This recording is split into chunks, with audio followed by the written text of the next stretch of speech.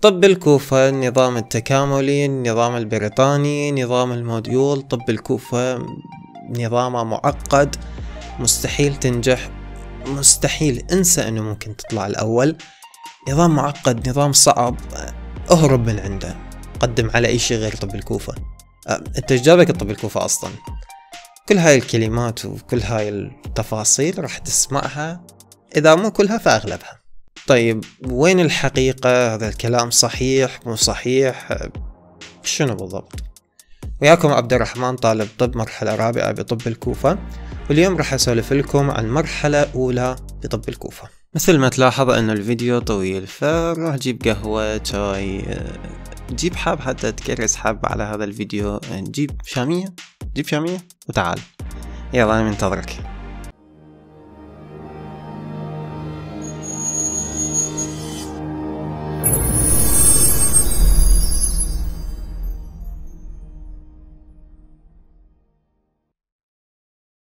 هذا هو شكل اليوتيوب من الحاسوب. وكما تلاحظون أيضا هذه من شاشة الآيباد وأيضا هذه من شاشة الهاتف. في جميع الأحوال ستلاحظون وجود كتابة في جانب وقت الفيديو. فمن خلال النقر على هذه الكتابة ستستطيعون أن تتصفحوا بسهولة مواضيع الفيديو. لذا ستتمكنون من حضور فقط الموضوع الذي يهمكم من هذا الفيديو دون الحاجة إلى متابعة الفيديو بالكامل. المواضيع اللي راح اتطرق لها بهذا الفيديو هي ببساطة نظام الموديول وفرق عن باقي الأنظمة الدراسية. ومواد سنة أولى طب الكوفة تجربتي بسنة أولى طب الكوفة العلاقة ما بين السنة الأولى وباقي السنوات نظام الامتحانات شوية نصائح وشوية أسئلة بالغالب راح تسألوهن. هاي ببساطة مواضيع هذا الفيديو.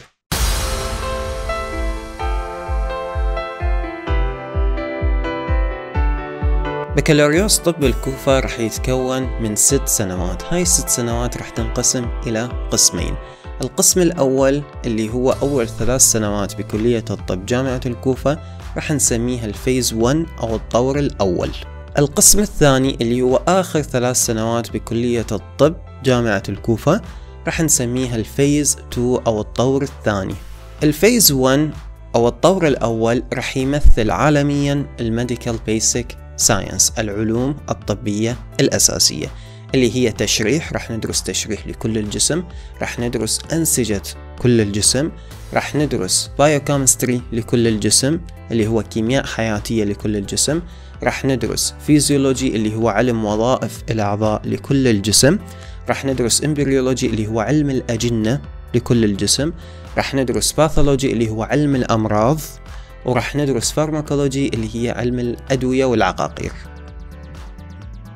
هذه هي عبارة عن ال medical basic science العلوم الطبية الأساسية. بطب الكوفة راح يتم تدريسك هاي العلوم بأول ثلاث سنوات بال phase 1 بالطور الأول من الصفر بحيث ما يعتبرون لك أي خلفية علمية أو طبية أو أي شيء. آه راح تدرسها من الصفر. وراح تاخذ أساسيات هاي العلوم. مثلا التشريح راح تاخذه كله. راح يرجع ينعاد بعدين عليك بال phase 2 ولكن ما راح ينعاد بنفس الصيغة بحيث إنه هاي اول ثلاث سنوات مهم جدا إنه تدرس بيها وتدرس كل شيء راح يعطوك إياه. بشكل جيد جدا لأنه راح توفر عليك وتخفف عليك كثيرا لما تنتقل لل phase 2 بعض العلوم مثل ال pharmacology اللي هو علم الأدوية والعقاقير وال pathology اللي هو علم الأمراض ما راح تأخذ كل شيء عن هذه العلوم. راح تاخذ أساسيات هذه العلوم لأنه أنت لما راح تنتقل لل phase 2 هواي أشياء راح تنضاف عليك أكثر وهواي تفاصيل راح تاخذها بتعمق أكثر. وأيضا راح ينضاف بال phase 1 بعض ال clinical science منها مثلا ال physical examination إلى حد ما راح تاخذ أفكار جيدة عنه. ال history taking اللي هو عبارة عن أخذ التاريخ المرضي للمريض وال physical examination هو عبارة عن الفحص. اللي تسويه للمريض بعض الفحوصات. راح تاخذ أيضا شلون تقيس الضغط شلون تقيس درجة الحرارة شلون تقيس ال pulse اللي هو عدد دقات القلب الدقيقة الواحدة. آه أيضا راح تاخذ مثلا ال cannulation الأساسيات. شلون تسوي cannulation يعني شلون تشكل كانونة للمريض. فرح تاخذ عدد من الفحوصات ولكن ما رح تتعمق بيها. رح تاخذ أساسيات. كل هاي العلوم اللي ذكرتها أنت رح تاخذ الأساسيات ملاتها ولكن بعض العلوم مثل التشريح مثل الأنسجة آه، مثل مثلا ال biochemistry اللي هي الكيمياء الحياتية مثل الفيزيولوجي بشكل أساسي مكانها بال phase 1 ما راح ترجع تنعاد بال phase 2 بنفس الصيغة. وإذا انعادت فتكون أنت أساسا مطالب بها باعتبارك ماخذها قبل فما راح يتم إعادة شرح هاي المواد بالنسبة لك. وبنهاية ال phase 1 بنهاية الطور الأول راح يكون أكو امتحان بأول ثلاث سنوات كلية الطب جامعة الكوفة. يعني راح يكون أكو امتحان بال phase 1 كله نسميه امتحان ال phase 1 أو امتحان الطور الأول. راح تمتحن بيه بكل هاي المواد اللي أخذتها. بامتحان واحد تقريبا بيوم واحد هو يومين ولكن آه، الامتحان يصير مثلا عبارة عن مثلا ست ساعات أو خمس ساعات. يقسموه على يومين. هو نفس الامتحان فلازم يكون بيومين متعاقبين ونفس المادة. وهذا الامتحان المفروض يوازي امتحان اللي يسمى ال USMLE step 1 أو امتحان ال IFOM step 1 المفروض يوازي هذه الامتحانات. أما ال phase 2 اللي هي آخر ثلاث سنوات بكلية الطب جامعة الكوفة السنة الرابعة والخامسة والسادسة فهنا راح تدرس ال clinical science العلوم السريرية. راح يصير دوامك بشكل أساسي بالمستشفى. بينما بال phase 1 كان دوامك تقريبا كله بالجامعة. ما عندك زيارة للمستشفى إلا شي بسيط. بينما بال phase 2 العكس. أنت بشكل أساسي دوامك بالمستشفى. يتم التعامل وياك من قبل المريض على أنك طبيب ومن قبل الأطباء اللي هم أساتذتك على أنك طبيب متدرب. بهاي الثلاث سنوات راح تتعلم مثلا تدرس أمراض. آه، تدرس شلون تعالج هاي الأمراض. مثلا يجيك شخص عنده دي كي اي دي كي اي اللي هو عبارة عن ال diabetic ketoacidosis ذولا مرضى السكري آه يصير عندهم حالة بحيث إنه تزداد حموضة الدم عندهم. ولازم يكون أكو خطوات لل management خطوات للعلاج آه لهؤلاء الأشخاص. فتتعلم هاي الخطوات شنو بالضبط؟ إيش قد تحسب مثلا إيش قد يحتاج هذا الشخص جرعة إنسولين؟ إيش قد يحتاج مثلا IV line اللي هو مغذي؟ إيش قد أعطيه مغذي؟ وش قد الوقت اللي المفروض يبقى به هذا المغذي؟ وإلى آخره فرح تتعلم هاي الأمور بالتفصيل الممل ورح تدرس عن كثير من الحالات والأمراض اللي رح تجي للمستشفى فرح تصير دراستك بشكل مباشر على المريض داخل المستشفى. وأكيد رح تحتاج تدرس نظري وبكميات أكبر مما كنت معتاد عليها بالفيز 1 بال phase 1 كنت تدرس نظري وهو الشيء الأساسي عندك. بال phase 2 راح يبقى موجود النظري ولكن راح يكون العملي هو الأساس. فأنت مطالب بالعملي ولكن لازم تدرس النظري حتى تقدر تأدي العملي. وأكيد سواء كان بال phase 1 ولا بال phase 2 راح يكون بكلا ال phaseين بكلا two phases راح يكون عندك امتحان نظري وامتحان عملي. وبعد ما تخلص أكيد ال phase 2 راح يكون عندك أيضا امتحان آه، أخير اللي هو بالست سنوات كلها. ولكن بشكل أساسي أكيد راح يكون الامتحان خاص بال phase 2 ولكن أنت عمليا راح تمتحن امتحان بالست سنوات كلها بالكامل. والله يخليك. لا تضل تقول إنه أني ما أدرس بال phase 1 وأدرس بال phase 2 لا ادرس بال phase 1 وادرس بال phase 2 تمام؟ ولا تضيع وقتك. ولا تضل تقول إنه هاي آخذها بالمرحلة الخامسة هاي آخذها بالرابعة هاي آخذها بالسادسة. رجاء لا تفتي. ادرس من المرحلة الأولى وادرس بال phase 1 زين؟ وروح لل phase 2 أنت دارس. مو تروح لل phase 2 تريد تدرس. لا روح لل phase 2 أنت دارس على الأقل. الأساسيات. ركز بال phase 1 على التشريح علم وظائف الأعضاء.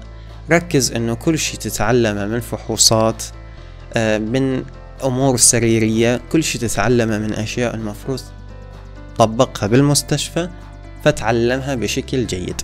لا تضيع وقتك حتى تروح للفيس 2 أنت مستعد للفيس 2 وهذه كانت عبارة عن مقدمة لماذا سيحصل في الست سنوات لطب الكوفة.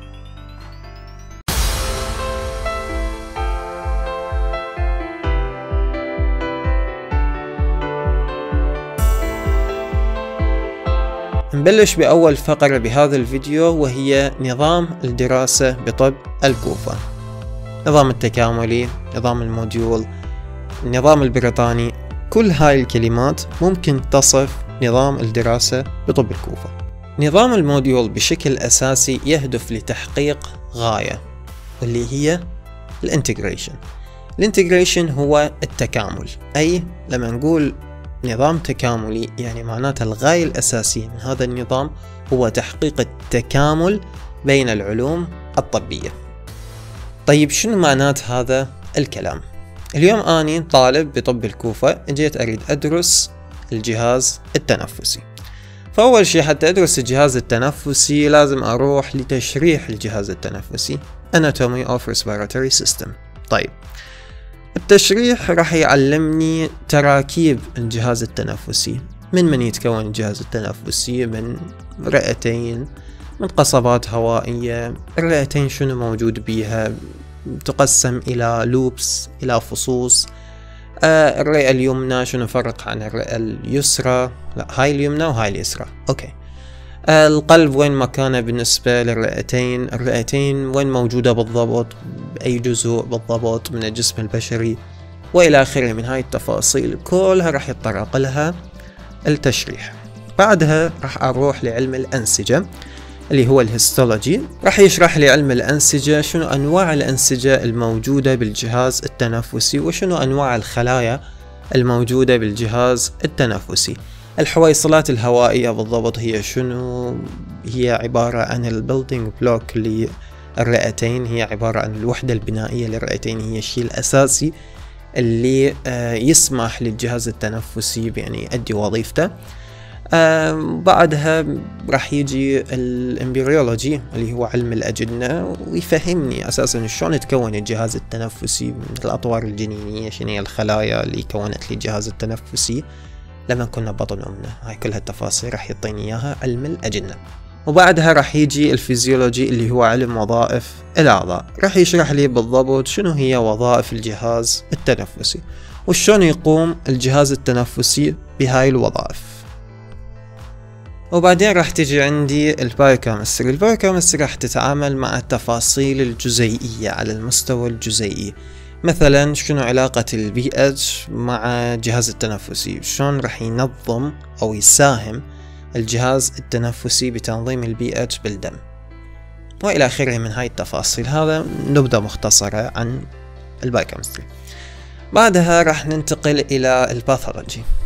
كل اللي مر بكفة وال pathology اللي هو علم الأمراض بكفة ثانية. راح نتعرف على أمراض الجهاز التنفسي وتفاصيل كل مرض بعدها راح ننتقل إلى الفارماكولوجي اللي هي علم الأدوية والعقاقير. راح نتعرف على أنواع الأدوية اللي ممكن نصفها للجهاز التنفسي. مثلا اللي آه، عندهم أزمة اللي هي ربو. مثلا أكو أنواع من الأدوية آه، نصفها للي عندهم ربو مثلا. وإلى آخره من هاي التفاصيل فراح نتعرف على الأدوية بال pharmacology. وأخيرا راح تجي ال clinical science اللي راح نتعلم بيها الفحوصات مثلا إنه شلون أفحص المريض اللي يجي للعيادة أو للمستشفى. مثلا إنه عنده أزمة اللي هي ربو. آه شنو الفحوصات اللي اسويها حتى أتأكد إنه هو فعلا عنده ربو مثلا اللي هي السماعه الطبية يسموها auscultation اللي اخلي السماعة الطبية بحيث إنه أسمع فد أصوات معينة تدل على إنه هذا المريض عنده آه ربو. أو أسمع فد آه أصوات معينة تدل على إنه هذا المريض آه عنده COPD اللي هو مرض يصيب المدخنين المدخن ال heavy smoker يعني ذول المدخنين المضبوطين. اللي صار لهم يدخنون مثلا عشرين سنة. شلون أميز ما بين هذا المرض وهذا المرض وأمراض أخرى؟ وأميز أنه أساسا أنه هذا الشخص طبيعي ولا مو طبيعي؟ وإلى آخره من هذه التفاصيل. بعدين أتعرف على ال techniques أو ال investigations اللي هن ال X-ray الأشعة السينية الأشعة. أتعرف عليها شو وقت أدزها شلون أقراها؟ ومثلا فحوصات تكون بالمختبر إنه يأخذون عينة دم ويسوون فحوصات فحوصات للدم ويعطوني قراءات حتى أني أقرأها وأقرر إنه هذا المريض شو أسوي له هل هو طبيعي هل هو مو طبيعي وإلى آخره. كل هاي التفاصيل راح آخذها بنفس الفترة الزمنية بحيث أنه آه، مدة أربعة أشهر مثلا أخذت كل هاي التفاصيل. لما تخلص هاي الأربعة أشهر أكون عرفت كل شيء عن الجهاز التنفسي من آه، أشياء أساسية علوم طبية أساسية اللي هي التشريح والأنسجة والإمبريولوجي إلى آخره. والأمراض تعرفت على الأمراض وتعرفت شلون أسوي فحوصات وتعرفت إنه شلون أقرر إنه هذا الشخص ما عنده مشكلة بالجهاز التنفسي أو عنده مشكلة بالجهاز التنفسي. وإلى آخره من هاي الأمور تعرفت عليها بنفس الفترة الزمنية. فتحقق عندي الانتجريشن. تحقق عندي التكامل بين العلوم الطبية. رسخت المعلومة وأخذت وقت أقل حتى أقراها أدرسها أفهمها أحفظها. فبهذه الطريقة صارت الدراسة فعالة ومثمرة أكثر من النظام الكلاسيكي. النظام الكلاسيكي على جانب الآخر شنو اللي راح يسوي بالضبط؟ راح يدرسني تشريح الجسم البشري كله بالكامل أخذ كل الأجزاء الموجودة بالجسم البشري كل التراكيب وأتعرف عليها وحدة وحدة. وأتعرف على مصطلحات كثيرة أحفظ الكثير من المصطلحات كلها بنفس الفترة الزمنية. كلها بظرف سنة أو سنة ونص أكون خلصت تشريح الجسم البشري بالكامل. بعدها نأخذ الأنسجة.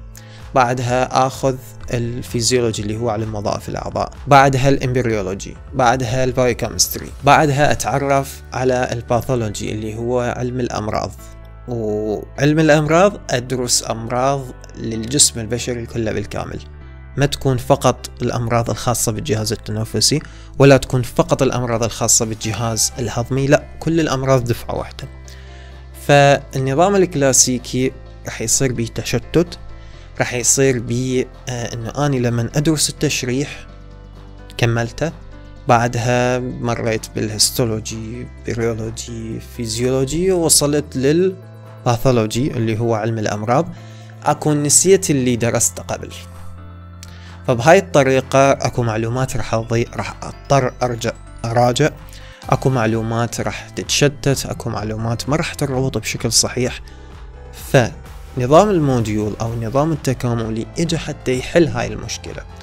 فعلى نظام ال module أو ال integral system اللي هو النظام التكاملي انحلت كثير من المشاكل. صارت الدراسة فعالة أكثر فتخرجوا أطباء أفضل. وهذا الشيء مو فقط بطب الكوفة مو فقط بجامعة بيروت اللي درست بيها قبل ثلاث سنوات أربعة. بكثير من الجامعات تم اعتماد النظام التكاملي لأنه نظام فعال أكثر بكثير من النظام الكلاسيكي. لذا فهاي قصة نظام الموديول وفرقه عن باقي الأنظمة الدراسية. أنا شخصيا أحبذ نظام ال module أو النظام التكاملي كنظام للدراسة بكلية الطب. وأنصح الطلاب بالأنظمة الأخرى أن يأخذون فكرة على نظام ال module يحاولون يخلون خطة بالمستقبل أن يدرسون على نظام ال module. تقدر أنت تدرس وحدك على هذا النظام مو ضروري أنه تكون تنتمي لجامعة تطبق هذا النظام. هذا مو ضروري. وإن شاء الله بالمستقبل راح أتطرق لهذا الموضوع بشكل تفصيلي أكثر وأكو فيديو بشكل فعلي عن هذا الموضوع تطرقت إلى قبل سنتين أو ثلاثة. تلاقون رابط الفيديو أو الفيديو نفسه. أعلى يمين الشاشة.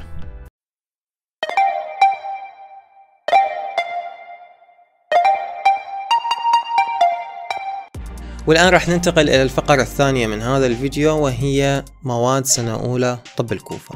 مثل ما نعرف أن السنة راح يكون بيها two semesters كورسين فصلين دراسيين. أكو شي بعد ثاني؟ ماكو خلاص. أوكي.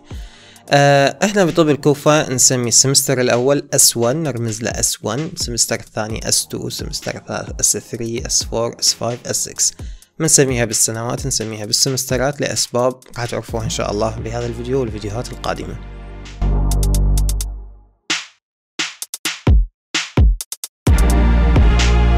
بالسمستر الأول راح ناخذ نوعين من المواد. النوع الأول اللي نسميه متطلبات الجامعة. ببساطة ليش نسميه متطلبات الجامعة؟ لأنه هي مواد تدرس بكل الكليات تقريبا فتشترك بها كلية الطب مع الكليات الأخرى اللي هي العربي الإنجليزي الحاسوب والحقوق.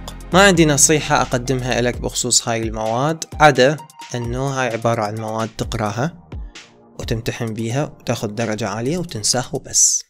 هاي وظيفة هاي المواد. النوع الثاني من المواد بالسمستر الأول راح نسميها متطلبات الكلية اللي هي ببساطة فيزياء طبية وأساسيات الطب.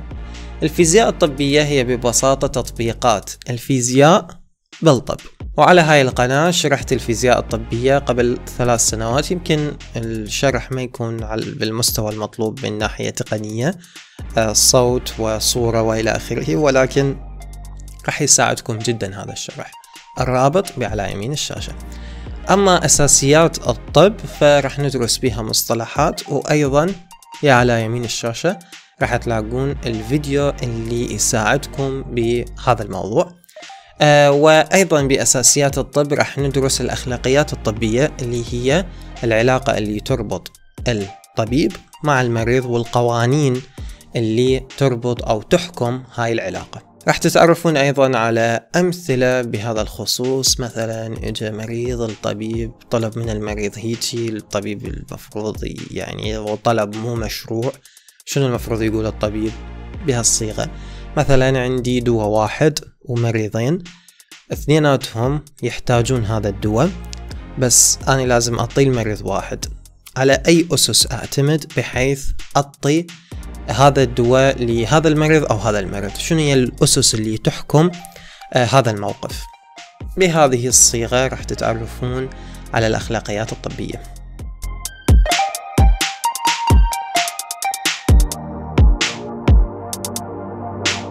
أما بال semester الثاني فمنا رح يبلش نظام ال module. قبل هذا ما كان نظام module كان عبارة عن نظام كورسات. بال semester الأول كنا نتعامل مع نظام كورسات أما من ال semester الثاني رح يبلش نظام ال module. بال semester الثاني رح ناخذ ست مواد. المادة الأولى واللي هي راح تكون بالعادة يوم الأحد عبارة عن ال MGD اللي هي اختصار molecular من جزيئي genetics يعني معناته وراثة and disease اللي هي أمراض يعني علاقة ال molecules اللي هي الجزيئات مع الوراثة مع الأمراض. كل هاي الأمور مع بعضها البعض. راح تدرس آه، بهاي المادة تركيب البروتين تركيب ال DNA وال RNA وتفاصيل من هذا النوع واللي هي بشكل أساسي biochemistry بشكل أساسي biochemistry فراح تدرس ال biochemistry اللي هي الكيمياء الحياتية من البداية. تاخذ هاي الأفكار عن الكيمياء الحياتية. هاي الأفكار بالعادة ما مرتبطة ب system معين. يعني ما مرتبطة فقط بالجهاز التنفسي أو فقط بالجهاز الهضمي أو فقط مثلا بالجهاز العصبي لا هاي مرتبطة بكل شيء بحيث أنه أنت ما تقدر تاخذها يعني مع الأنظمة الأخرى تاخذها وحدها فراح تحس أنه هاي المادة منفصلة تماما عن أي مادة ثانية. النصيحة اللي أقدمها لك بخصوص هاي المادة فوقت راح تاخذها اللي هي بالسمستر الثاني بالسنة الأولى وقت تاخذها أتعامل وياها على انه هي مادة لازم تدرسها تطلع بيها درجة. أه تركيب البروتين تركيب ال DNA شي راح تحتفظ به نفسك بعدين ما راح تحتاجه كلش راح تعتبر بنقاط معينة بعدين أشبه بالثقافة. بس أنت لازم تفهم أجزاء معينة من هاي المادة. اللي هي مثلا gel electrophoresis اللي هي ببساطة عبارة عن تقنيات techniques نستخدمها حتى نسوي فحوصات معينة أنواع معينة من الفحوصات. فهاي ضروري تفهمها. ضروري تفهم ال mutations آه اللي هي الطفرات. وهاي التفاصيل عن هاي المادة اجت بامتحان ال phase 1 اللي هو الامتحان اللي راح تمتحنه بنهاية السنة الثالثة اللي راح يشمل السنوات الثلاثة الأولى بطب الكوفة. لهذا السبب اهتم بذني التفاصيل والبقية اطلع عليهن وافهمهن. أول شيء لأجل الامتحان ضروري تقرأ هاي المادة لأجل الامتحان لأنه هي تعتبر يعني أنا أعتبرها ثاني أهم المواد أو ثالث أهم المواد عمليا آه ومادة مهمة آه لازم تقرأها بالسمستر الثاني. بس بعدين أغلبها راح تبقى عبارة عن ثقافة طبية بالنسبة لك. المادة الثانية اللي هي الميتابوليزم. الميتابوليزم معناتها الأيض. تذكرون الأيض الخلوي اللي أخذتوه بالسادس؟ هو هذا نفسه بس راح تأخذوه بشكل موسع. راح تأخذون شلون ينهضم الجلوكوز آه شلون تنهضم الفاتي أسيد اللي هي الأحماض الدهنية شلون تنهضم الأمينو أسيد اللي هي الأحماض الأمينية البروتين يعني قاعد نحكي البروتين هسه. آه وإلى آخره من هاي التفاصيل. هاي المادة جدا مهمة هي اني أصنفها أهم مادة بال semester الثاني. أهم مادة بالسنة الأولى. أني أصنفها بهذا التصنيف. آه هاي المادة أقرأها بال handbook ال handbook هو عبارة عن كتاب آه manual يسموه. آه عبارة عن كتاب مأخوذ من كذا مصدر. كلش لطيف هذا الكتاب وضروري إنه تقرأ هاي المادة بهذا الكتاب فلازم تقرأ بهذا الكتاب. آه المحاضرات راح تستفاد من عندهن ولكن بشكل أساسي ال handbook واهتم بهاي المادة واقرأها من البداية للنهاية. وأسفل بالوصف راح تلاقي رابط لقناة تليجرام مشروح بها أربع session ات من هاي المادة راح تساعدك أيضا. المادة الثالثة اللي هي Tissues of the Body اللي هي ال histology علم الأنسجة.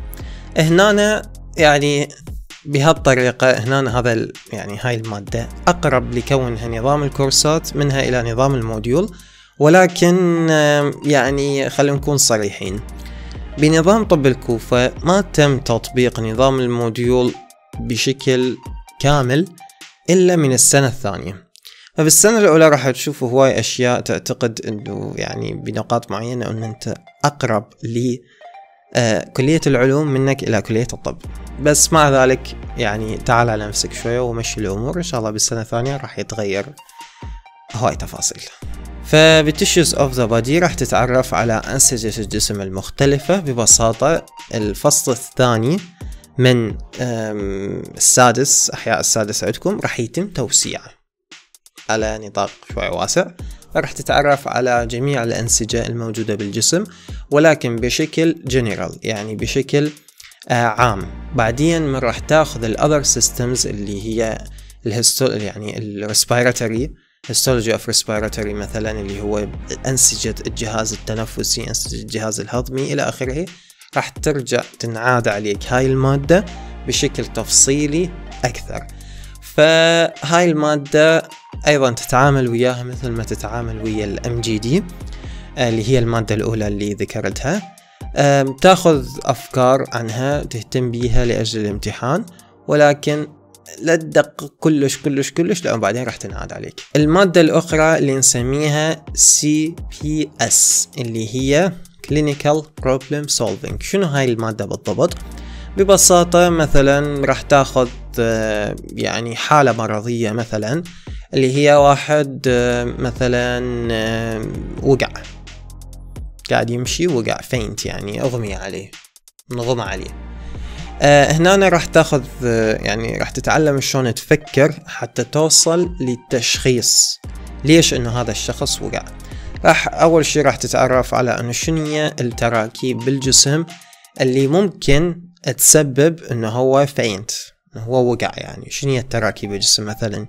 آه أو شنو هي الأجهزة بالجسم مثلا؟ الجهاز التنفسي ممكن يسبب ممكن.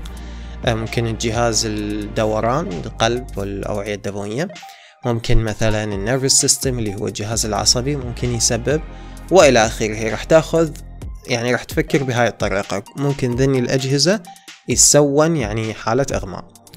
آه بعدين راح تأخذ آه يعني تصير تفكر مثلا أساسا شنو شنو الوظيفة الطبيعية لهاي الأجهزة وشنو ممكن يكون الخلل اللي صار بحيث يعني وقع هذا الشخص. وبعدين راح تفكر أكثر إنه شنو تأثير مثلا هذا المرض هاي الحالة المرضية أو هاي الحالة على الشخص من ناحية نفسية من ناحية يعني اجتماعية وإلى آخره راح تتعرف أو تفكر إنه شنو ممكن أدزه فحوصات آه، حتى أشوف شنو الخلل يعني آه، ويا هذا الشخص أو ويا هذا المريض. والى اخره من هاي التفاصيل أيضا راح تاخذ ال management اللي هي الأدوية اللي ممكن تعطيها طبعا يمكن تفكر إنه مو مبكر هذا الشيء كلش بمرحلة أولى semester ثاني بعدني كلش ما ماخذ أي مبكر ولكن هم مجرد إنه يريدون يعطوك فكرة إنه شنو لازم تفكر. بس يعني هي مجرد فكرة تاخذها. غالبا هاي المادة أساسا ما مطلوبة ما تدخل بالامتحان. بس إنه مجرد تفكر يعني مجرد تخليك تفكر. وأحيانا لا يعني مرة يقولون ندخلها مرة يقولون ندخلها. وقت أنا امتحنت ما كانت داخلة بجوز وقتكم بدو يدخلوها. ما اعرف بس هي ماده الغايه الأساسية منها إنه تعرف شلون تفكر. هذا كل اللي مطلوب من هاي المادة. المادة الخامسة وهي ال Health and Disease in Population هاي المادة راح ترجع تتكرر بالسمستر الخامس اللي هو بالسنة الثالثة السمستر الأول. آه هاي المادة بشكل أساسي آه بيها تفاصيل كثيرة. أنا برأيي أنه أهم نقطة بهاي المادة تركز بيها على المصطلحات. المصطلحات إنه تفهم كل مصطلح. مثلا يجي يقول لك إنه meta-analysis شو معنات meta-analysis لازم تفهم شو معنات meta-analysis آه مثلا cohort study شنو معناتها مثلا prevalence morbidity mortality. هاي المصطلحات لازم تفهمها وتحفظها ويعني هي هاي الزبدة اللي ممكن تاخذها من آه هاي المادة. بالإضافة إلى ذلك أنت راح تاخذ biostatistics biostatistics اللي هو الإحصاء الحيوي يعني راح تاخذ إحصاء. فراح تعرف مثلا إنه شنو معنات الموت شنو معنات ال mean value إلى آخره. هاي التفاصيل. فهي بيها شوية رياضيات يعني. هاي المادة بيها شوية رياضيات. شلون تتعامل ويا هاي المادة؟ تقرأ المحاضرات تفهمها تستوعبها. إذا ما فهمت تسأل الدكتور. آه وتروح لل small group راح نحكي على ال small group بعدين. بال small group آه راح تتعرف على يعني آه شيء ثاني غير المحاضرة.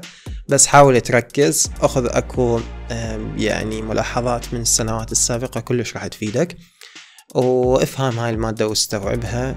يعني إيش قد ما تقدر لأنه هاي المادة مهمة تجي عليها هواي أسئلة والدرجات تجي بيها بسهولة.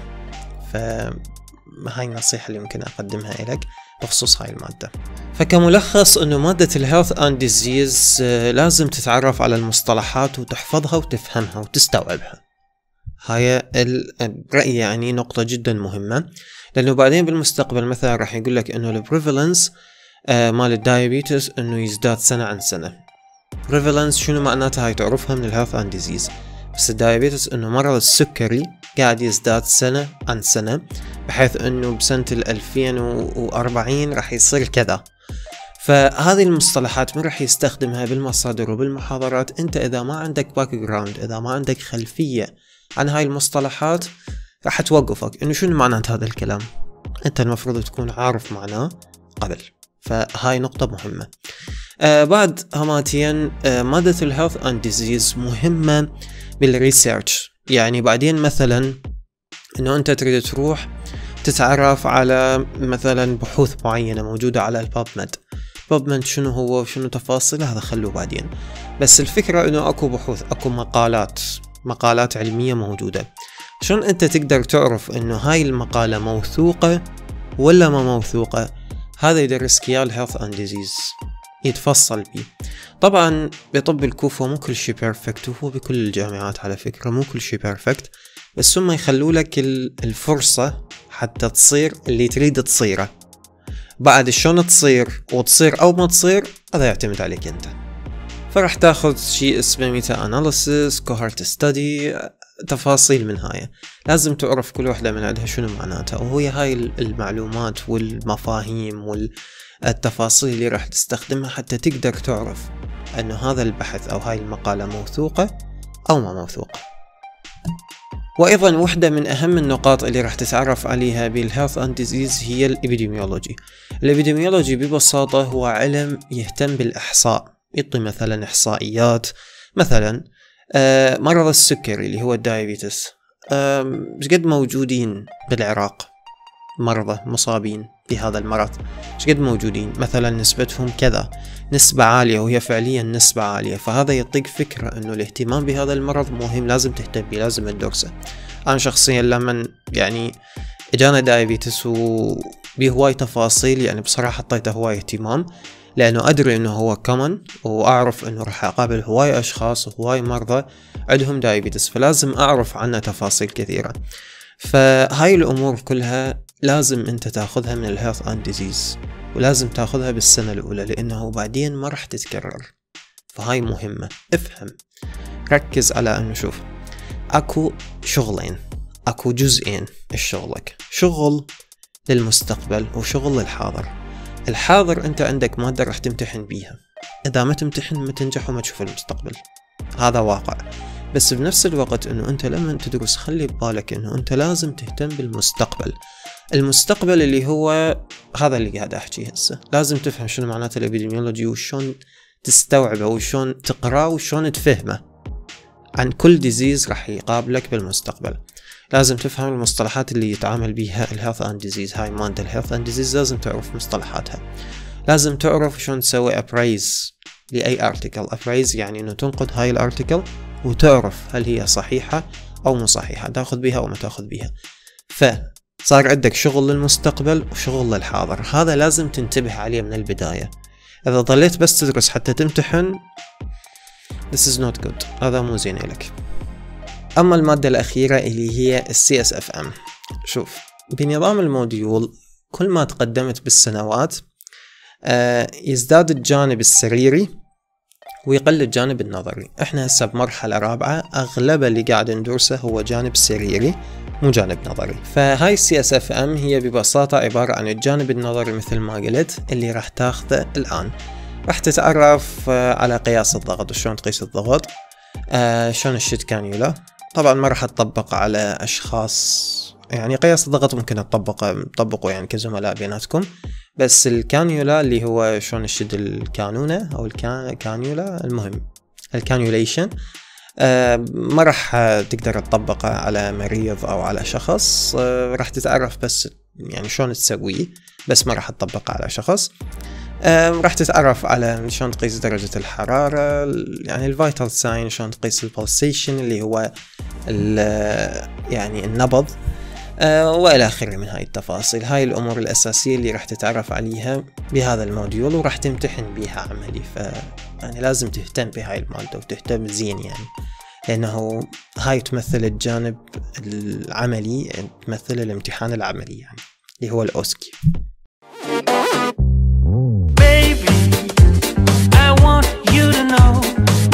الفقرة الثالثة تجربتي.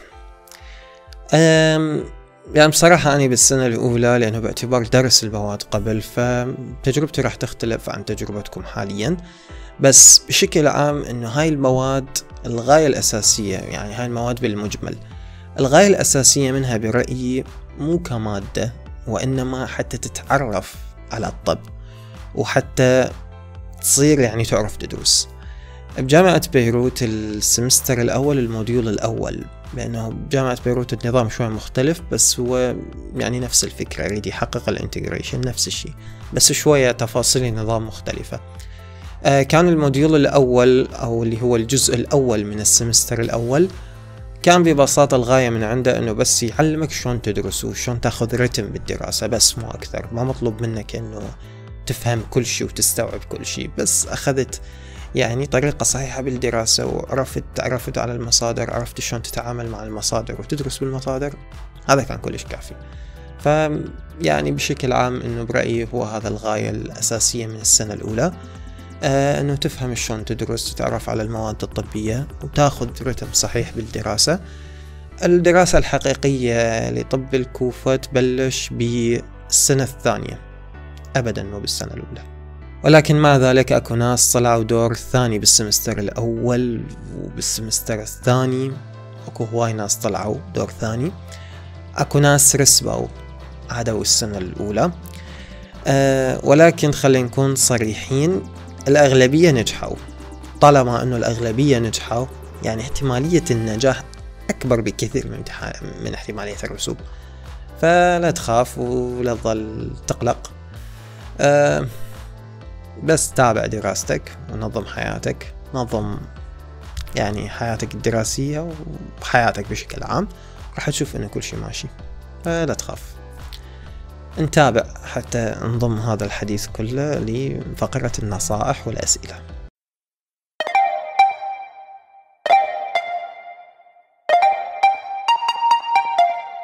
الفقرة الرابعة فقرة جدا مهمة.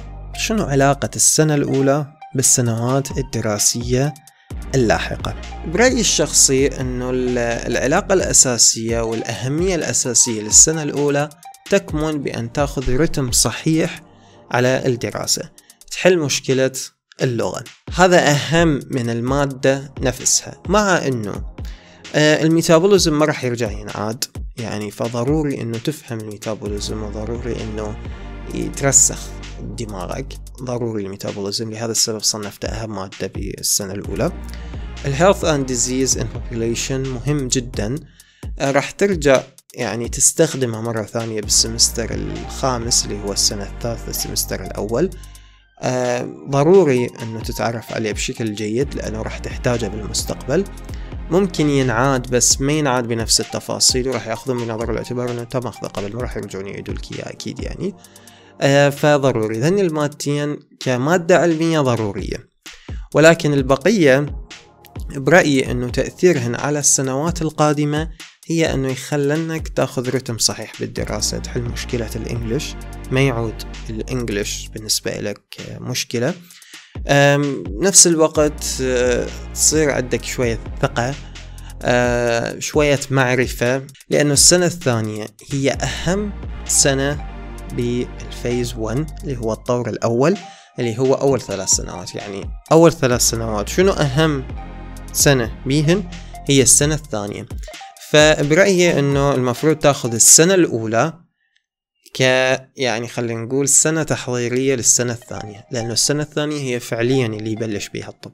لهذا تكمن أهمية السنة الأولى بالتحضير للسنة الثانية. بالإضافة أيضا إلى أن بعض المواد راح تكون متعلقة بالسنوات القادمة اللي هي أهمها Metabolism و Health and Disease in Population.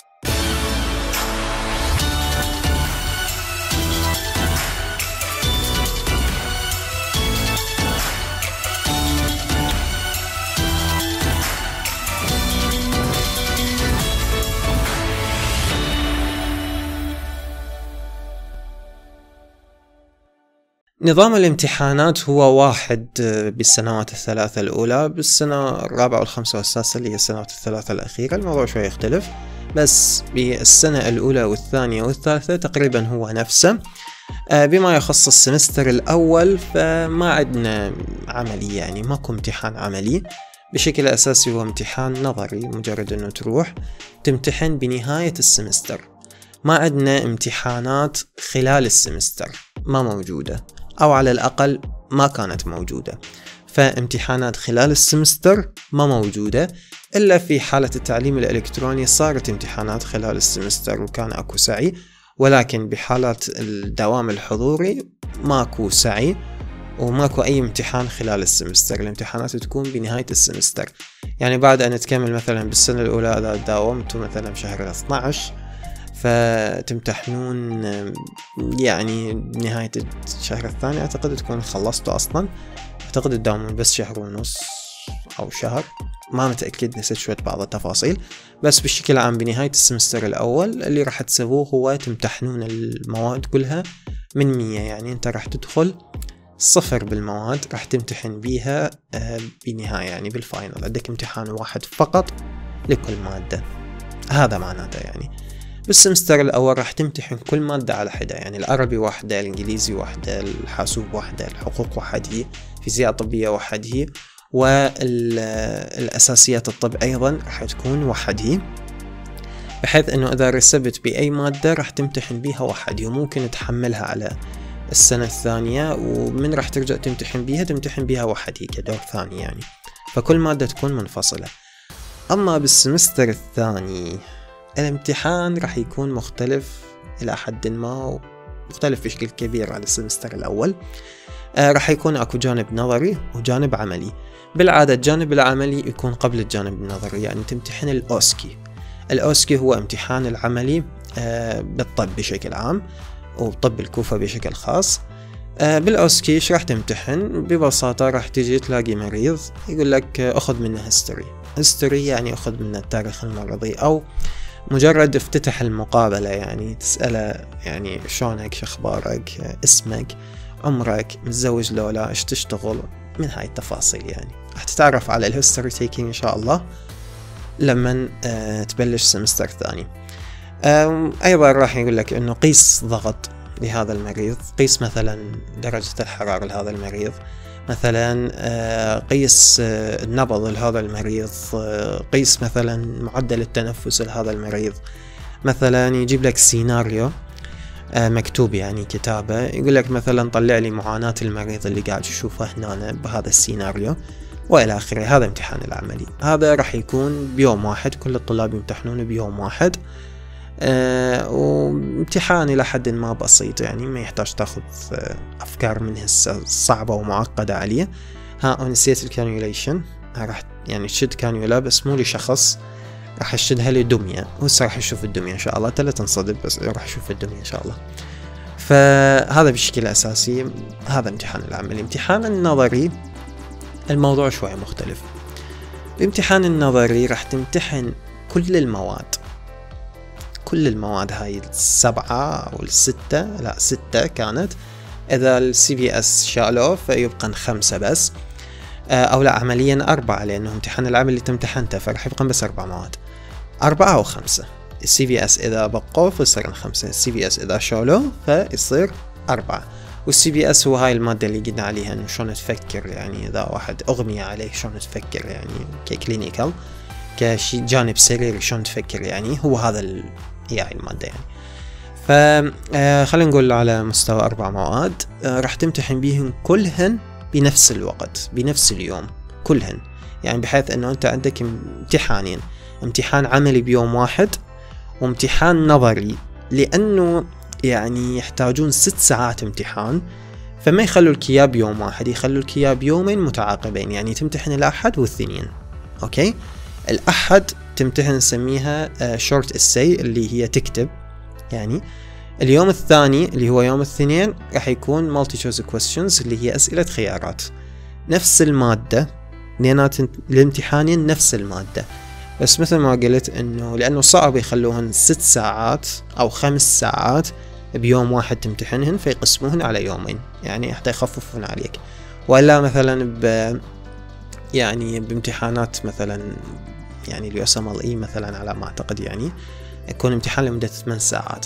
يفصلون ما يفصلون ما أعرف بس هي الفكرة إنه هو الامتحان يكون لمدة 6 ساعات لمدة مثلا أعتقد يعني ما متأكد ولكن امتحان المرحلة السادسة أعتقد تكون 3 ساعات ونص. يعني مجموعا يكون سبع ساعات فصعب إنه يخلوا لي إياه سبع ساعات بيوم واحد يمتحنهن فيفصلوهن على يومين وإلا هو نفس الامتحان. شنو طبيعة الامتحان وعلى شنو نركز وإلى آخره من هاي التفاصيل؟ آه هاي أمور يعني انتو راح تاخذون نماذج أسئلة من سنوات سابقة وما يحتاج تشغلون نفسكم كلش إنه شلون يجي الامتحان وإلى آخره من هاي التفاصيل.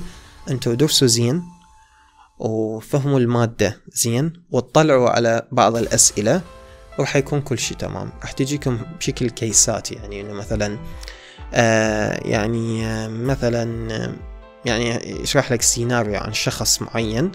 آه وبعدين تجي أسئلة عليه. مثلا ممكن يجيك أنه شيء يتعلق مثلا بال metabolism يقول لك أنه هنا آه هذا الشخص آه، صار عنده acetone breathing اللي هو يعني أي ريحة ال يعني حلقه تكون أسيتون ويعطيك في التفاصيل معينة يقول لك شنو هذا شنو صار بي؟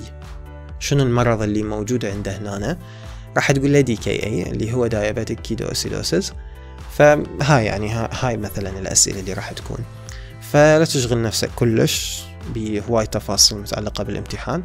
أنت ادرس زين وصدقني راح تقدر تحل الأسئلة وراح تقدر تنجح. بس ادرس زين وبالامتحان ركز على الوقت. الوقت راح تحس إنه بسرعة راح يطير فركز زين. والأجوبة تكون هي عبارة يعني maximum maximum راح يكون سطر أو سطر ونص. فمن تحس نفسك كتبت جريدة يعني خلي ببالك إنه ممكن تكون أنت رايح بطريق غلط يعني. هاي هاي النصيحة اللي راح أقول لك إياها حاليا. فلهنا كملنا كلامنا عن الامتحانات. ننتقل لفقرة النصائح.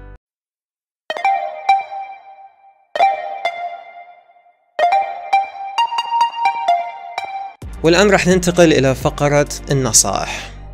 وبرأيي هاي الفقرة مهمة لأنه بالغالب أنه الغاية الأساسية من هذا الفيديو أنه أنت تفهم المرحلة الأولى هي شنو أصلا ونظام طب الكوفة يعني التفاصيل الكثيرة وتخرج من عندها بنصائح. من خلال هاي النصائح إنه راح تروح ترتب أمورك المفروض إنه هو هاي النتيجة مال هذا الفيديو. فهاي الفقرة مهمة. وأول نصيحة ركز على أنه تتعلم شلون تتعلم أكثر من أنه تتعلم شلون يعني؟ يعني أنت من المرحلة الأولى المفروض تخرج بنقطتين النقطة الأولى خلص صرت تعرف شلون تتعلم تمام؟ النقطة الثانية تتعلم بشكل فعلي بحيث تاخذ معلومات تاخذ دراسة تدرس وتمتحن تنجح وتنتقل للمرحلة الثانية. فالمفروض ذني النقطتين أنت اللي تخرج من عندهن أو اللي تخرج بيهن من المرحلة الأولى. أما تتعلم شلون تتعلم فهو ببساطة لازم تتعلم طرق صحيحة بالدراسة.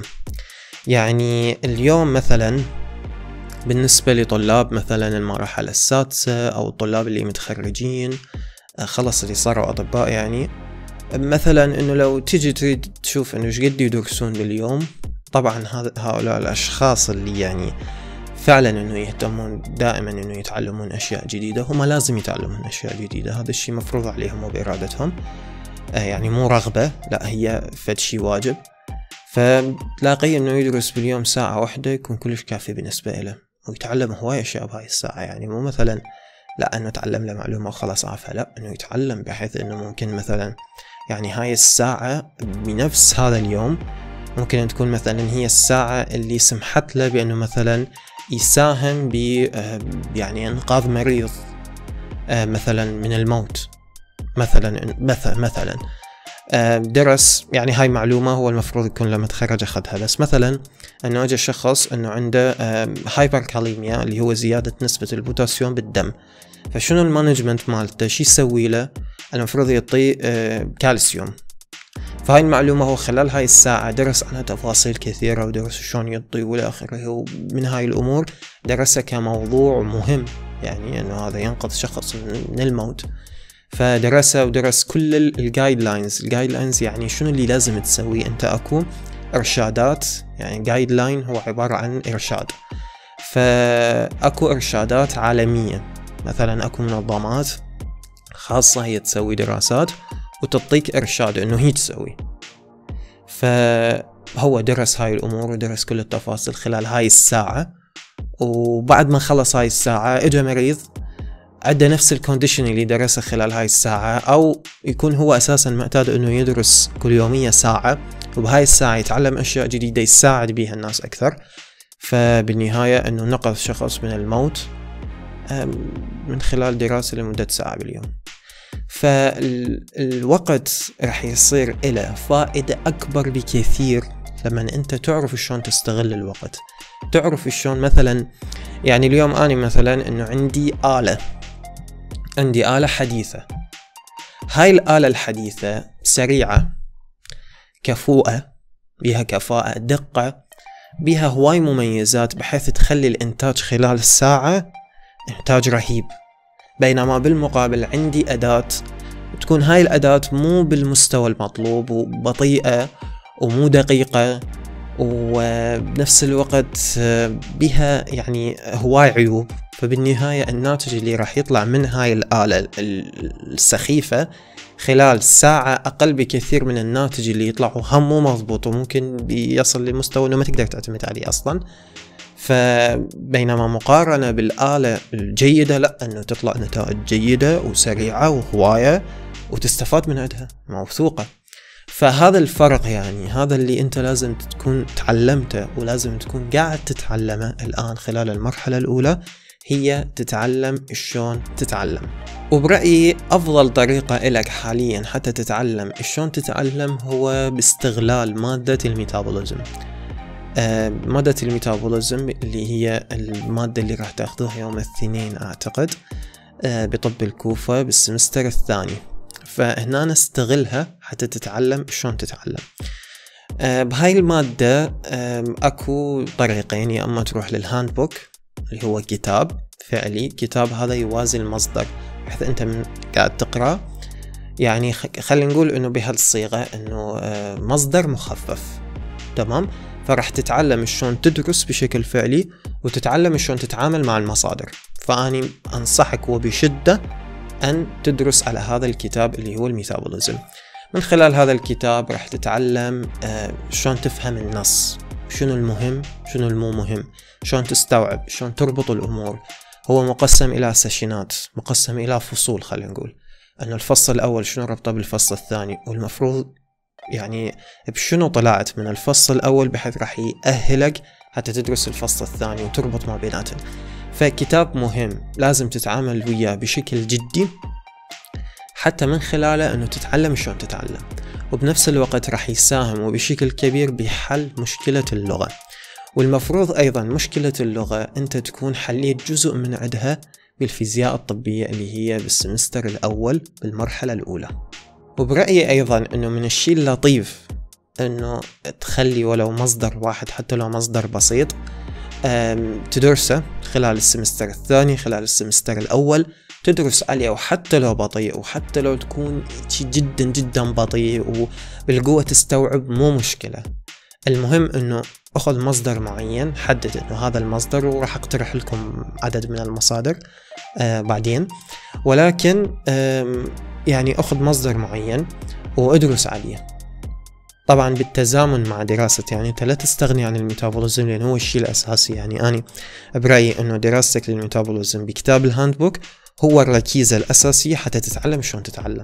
ولكن بالمقابل اختار مصدر معين. هذا المصدر أيضا راح يساهم بأنه تتعرف على المصادر تتعرف على كلمات أكثر اللغة الإنجليزية. بالطب ما ينفع أنه أنت تروح تدخل دورات وإلى آخره. لا. أنت يعني هي دراستك. أنت تقرأ تقرأ مصادر تحفظ مفردات تعرف شلون تفسرها للمفردات. مو فقط أنه تحفظ بشكل عشوائي. ما عندك مثلا كلمة معينة حفظتها ولكن هاي الكلمة ما عندك التفسير الصحيح لها بحيث أنه النص اختل. يعني أنت ما فسرت النص بشكل صحيح. فيعني ما درست صح. يعني معناتها راح تستخدم هاي الآلة التعبانة السخيفة.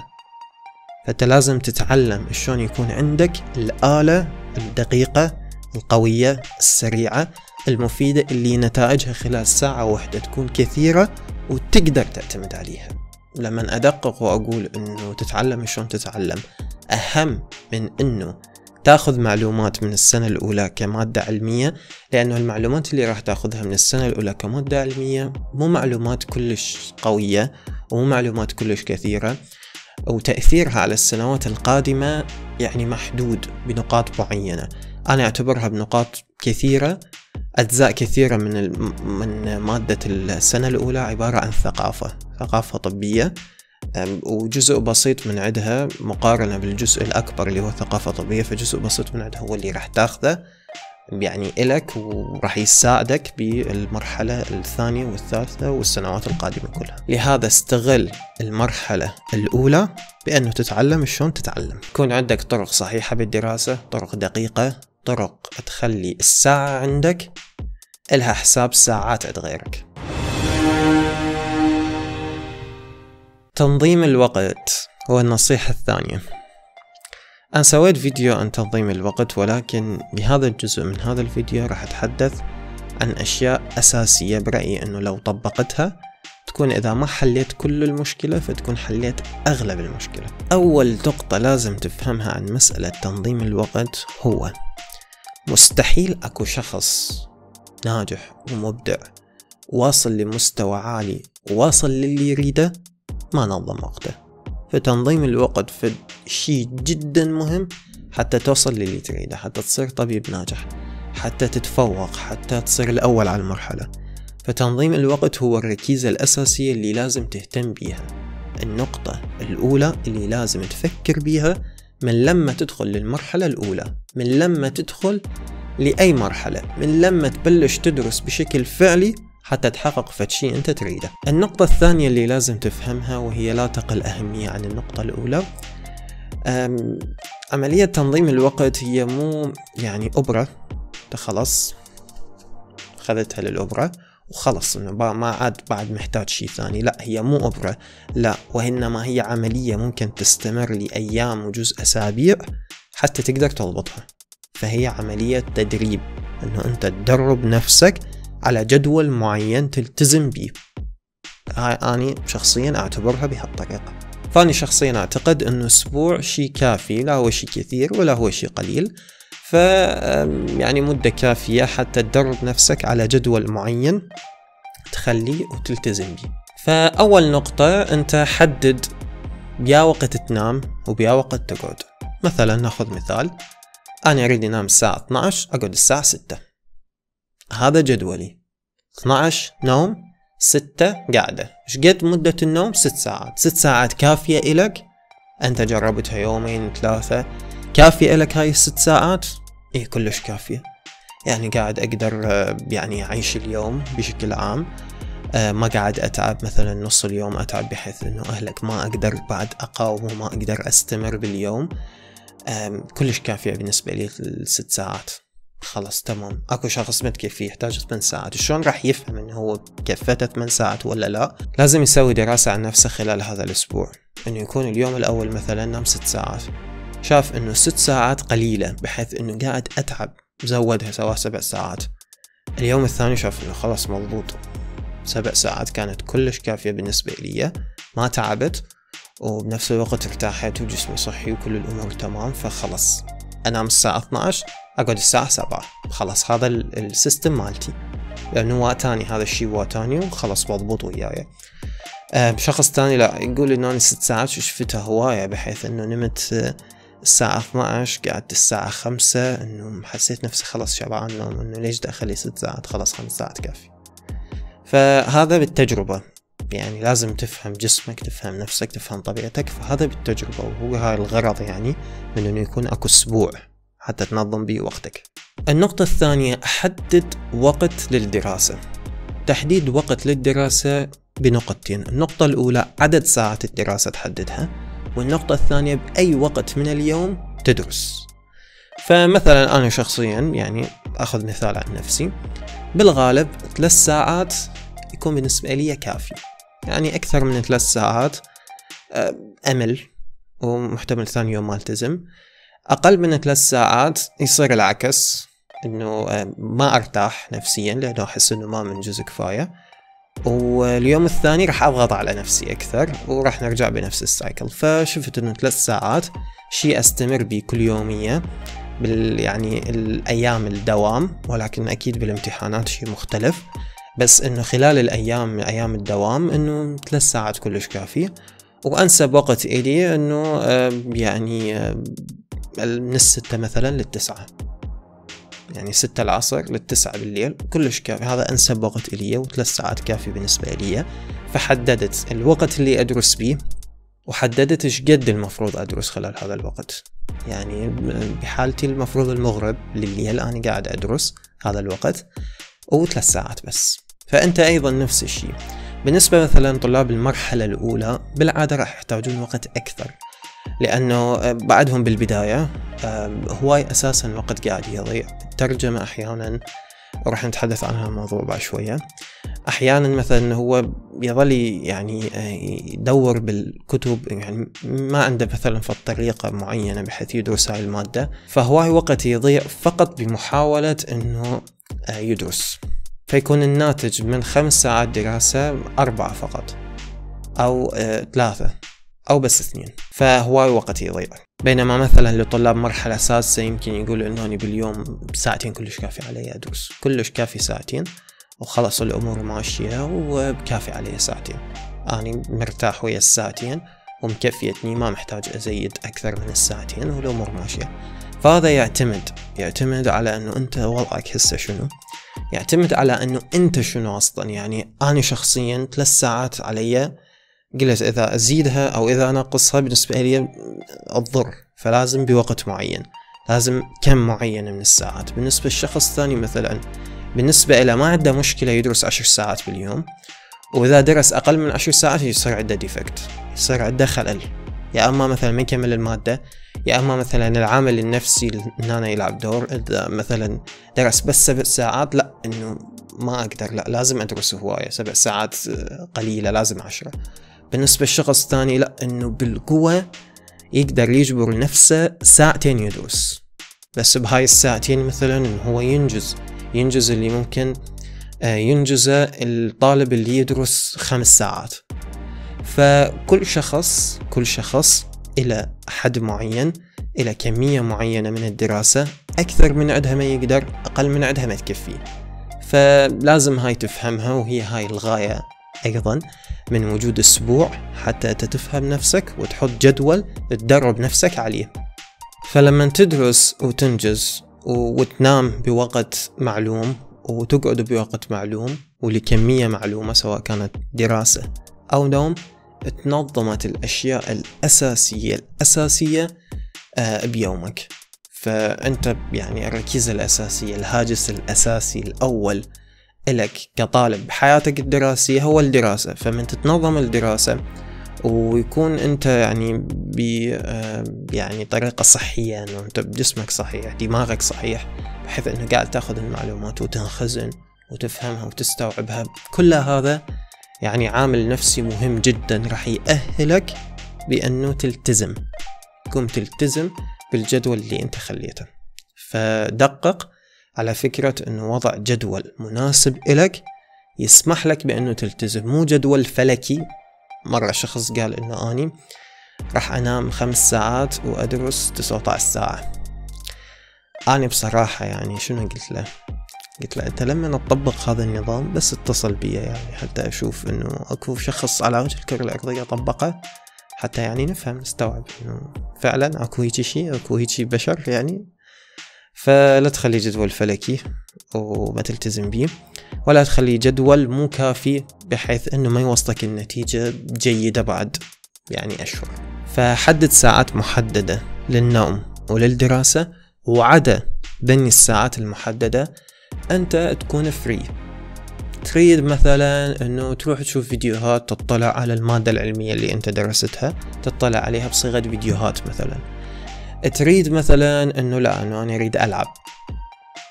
أريد أطلع. أريد أروح للجيم. أريد مثلا إنه أصور فيديو. أريد أنظف غرفتي. أريد أغسل ملابسي. أريد أسوي الأشياء الحياتية الثانية غير الدراسة.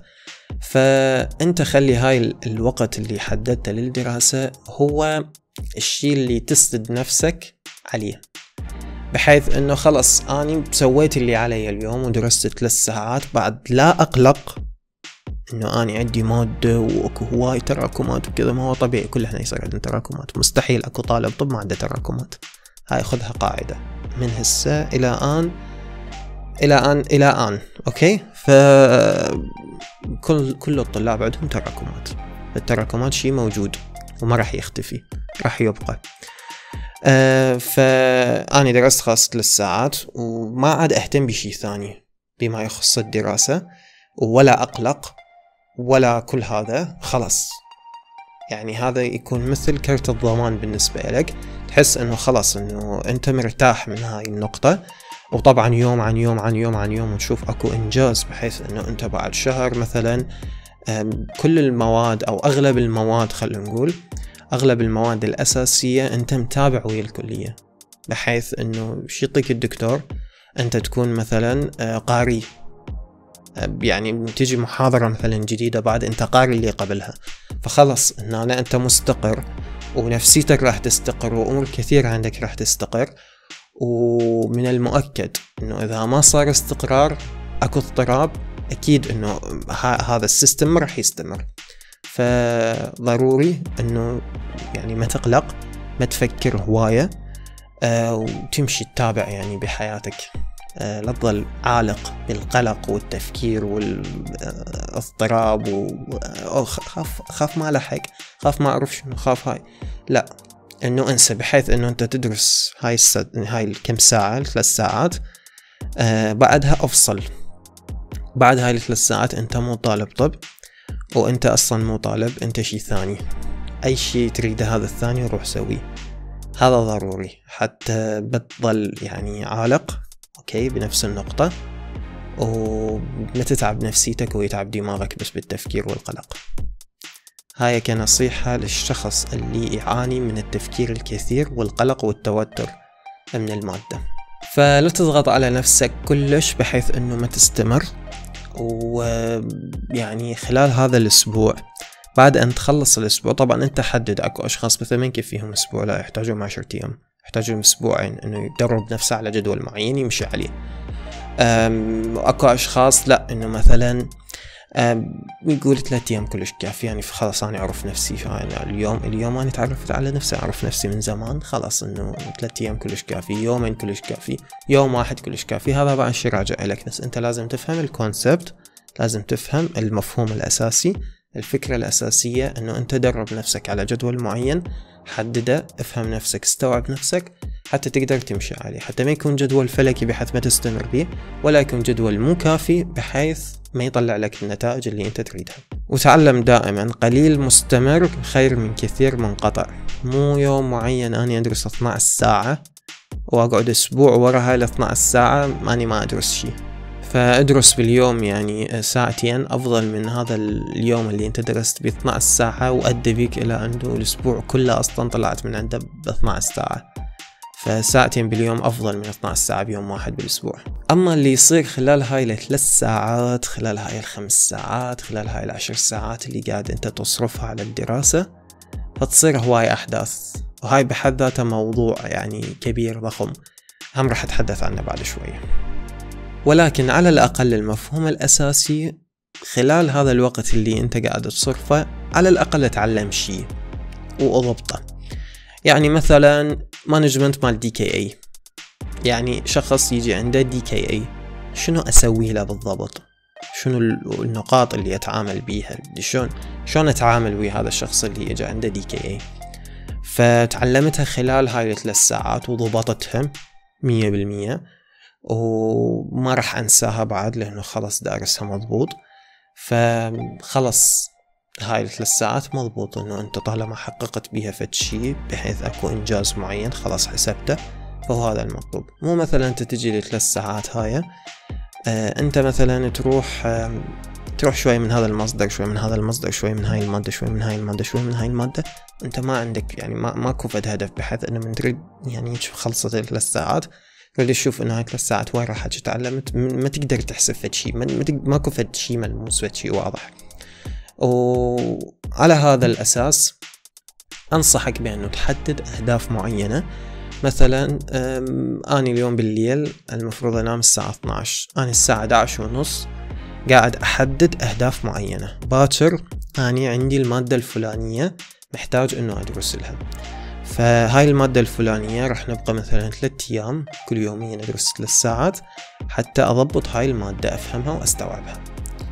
فأحدد حددت هذا الشي من الليل بحيث أنت من الليل نايم وقاعد الصبح وبالك يم هاي المادة وعندك خطة أنت إيش راح تسوي خلال هاي الثلاث ساعات. أما تجي أنت ما عندك أي خطة يعني تسويها وتنفذها خلال هاي الثلاث ساعات ففي الغالب راح تظل متشتت. روح هنا أروح هنا أروح هنا أروح هنا وخصوصا بالبداية. يعني محتمل أنه أنت بيوم واحد تفشل على يعني تفشل بأداء الجدول مالتك وبالنهاية آه، تفقد الأمل وتترك الجدول كله وترجع للحقبة مال عدم تنظيم الوقت والدنيا كلها ماشية على البركة. فأحذر من هاي النقطة يعني لا تتصرف تصرفات خاطئة بحيث أول شي راح تأثر عليها التصرفات الخاطئة هي حالتك النفسية وتؤدي إلى عدم التزامك. بس بالمقابل هاي نقطة مهمة. ماكو جدول مية بالمية تقدر تلتزم بيه. نقاط كثيرة الحياة ما تتركك أنه تلتزم مية بالمية بيه. فإذا التزمت ثمانين بالمية فكلش كافي. كلش كافي خصوصا بالجدول المعقد. مثلا أعطيك مثال أنه يعني أنا أكو أيام تمر علي. أريد أصور مثلا على الأقل فد نص ساعة. يعني هذا الفيديو هسه اللي قاعد أصوره أساسا مصور يمكن قبل يعني على دفعات مو كله وقت واحد.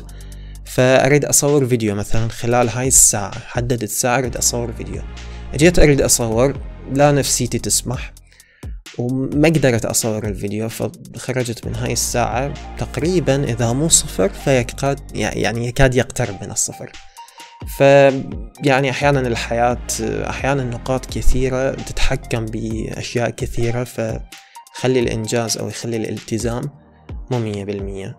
ثمانين بالمية إذا صار التزام بشكل عام مو بس بهذا اليوم لا بشكل عام خذها على شهر مثلا. خلال هذا الشهر التزامي كان ثمانين بالمية بالجدول اللي خليته بالنقاط اللي كنت متفق عليها ويا نفسي. قعدت ويا نفسي واتفقنا وتناقشنا بالموضوع فثمانين بالمية شي كلش كافي. لا تطمح بشي كلش كبير وإذا ما صارت مية بالمية يعني خلص بعد ما تصير لا. هاي الحالة راح تظل بدوامك. كل يومين تغير جدول وما تلتزم بأي جدول. مرحبا. sorry على طريقة التصوير بس حبيت أغير شوي. فهو تحملني شوية أحكي لي كلمتين وأروح أختفي وأنت تبقى مثل ما أنت okay؟ ويا ذاك الإنسان اللي لابس beige okay فتحملني شوية. أنا الملاك الأسود المفروض هسه. ف نقطة حبيت أشير لها بعد أختفي. خياراتك الآن. تقرر نظم وقتك وتكون حدي بتنظيم الوقت. تقرر تقرأ بالمصدر ولا تقرأ بالمحاضرة تقرر تداوم أو ما تداوم. أكو أشخاص إنه ما يداومون هواية. يحب إنه يقول أنا أقعد أدرس بالبيت وما أداوم. هذا أفضل. وبرأيي أشوف إنه هذا أفضل. وجوز أفضل؟ الله أعلم يعني كل يصير فأي خيار أنت تختاره هو هذا اللي راح يحدد المستقبل. عمليا إحنا ممكن نشوف المستقبل من الحاضر اللي إحنا بيه مثل ما إنه إحنا قاعد نعيش الحاضر ونعرف إنه أكو للماضي تأثير على الحاضر.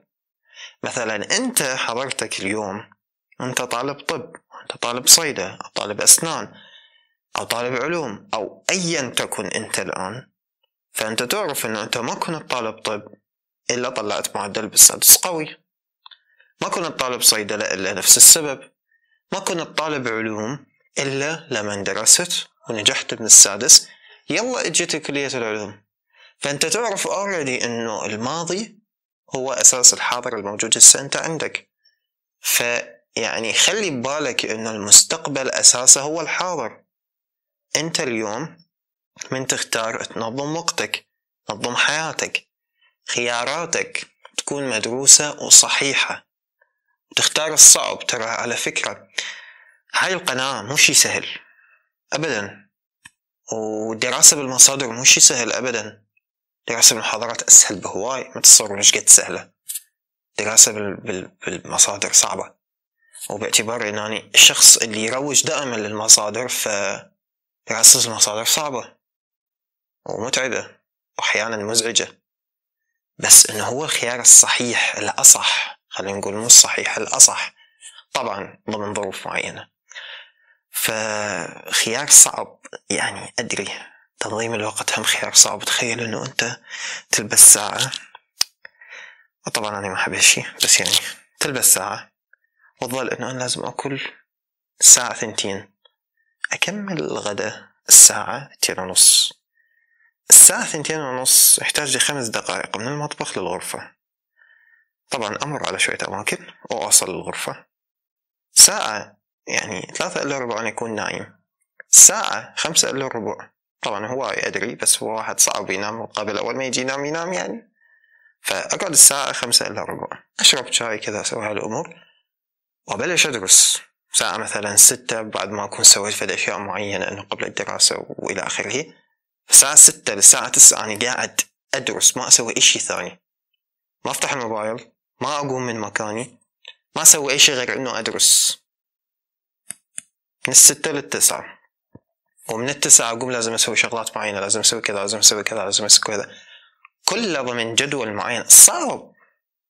صراحة صعب مو سهل. بس بالتعويض راح يصير سهل.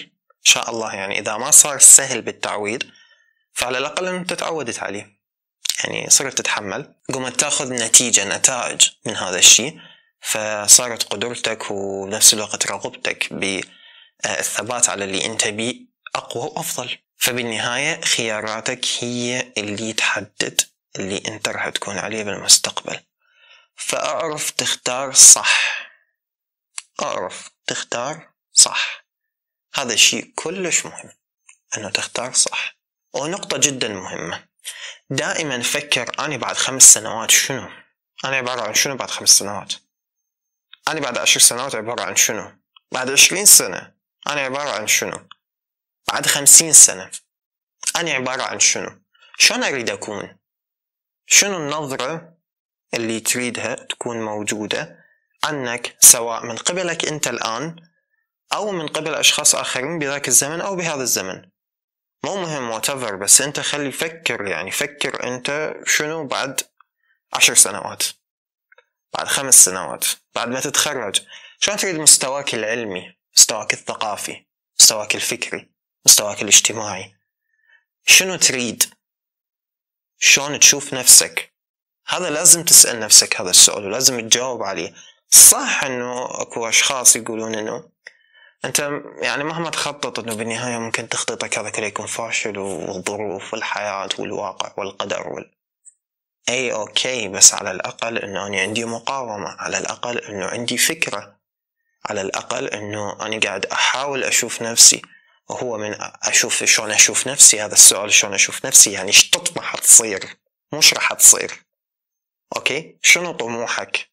مو أنت أنت ماكو واحد متأكد يعني أنا اليوم مثلا أطمح اصير neurosurgeon مثلا. راح اصير neurosurgeon أكيد. خلاص صرت ختم. صرت neurosurgeon لا. فهل هو قدر إنه قدري اصير neurosurgeon لا طموحي. رغبتي. جزء اصير جزء ما اصير جزء أني من ذاتي أغير تفكيري. الله أعلم.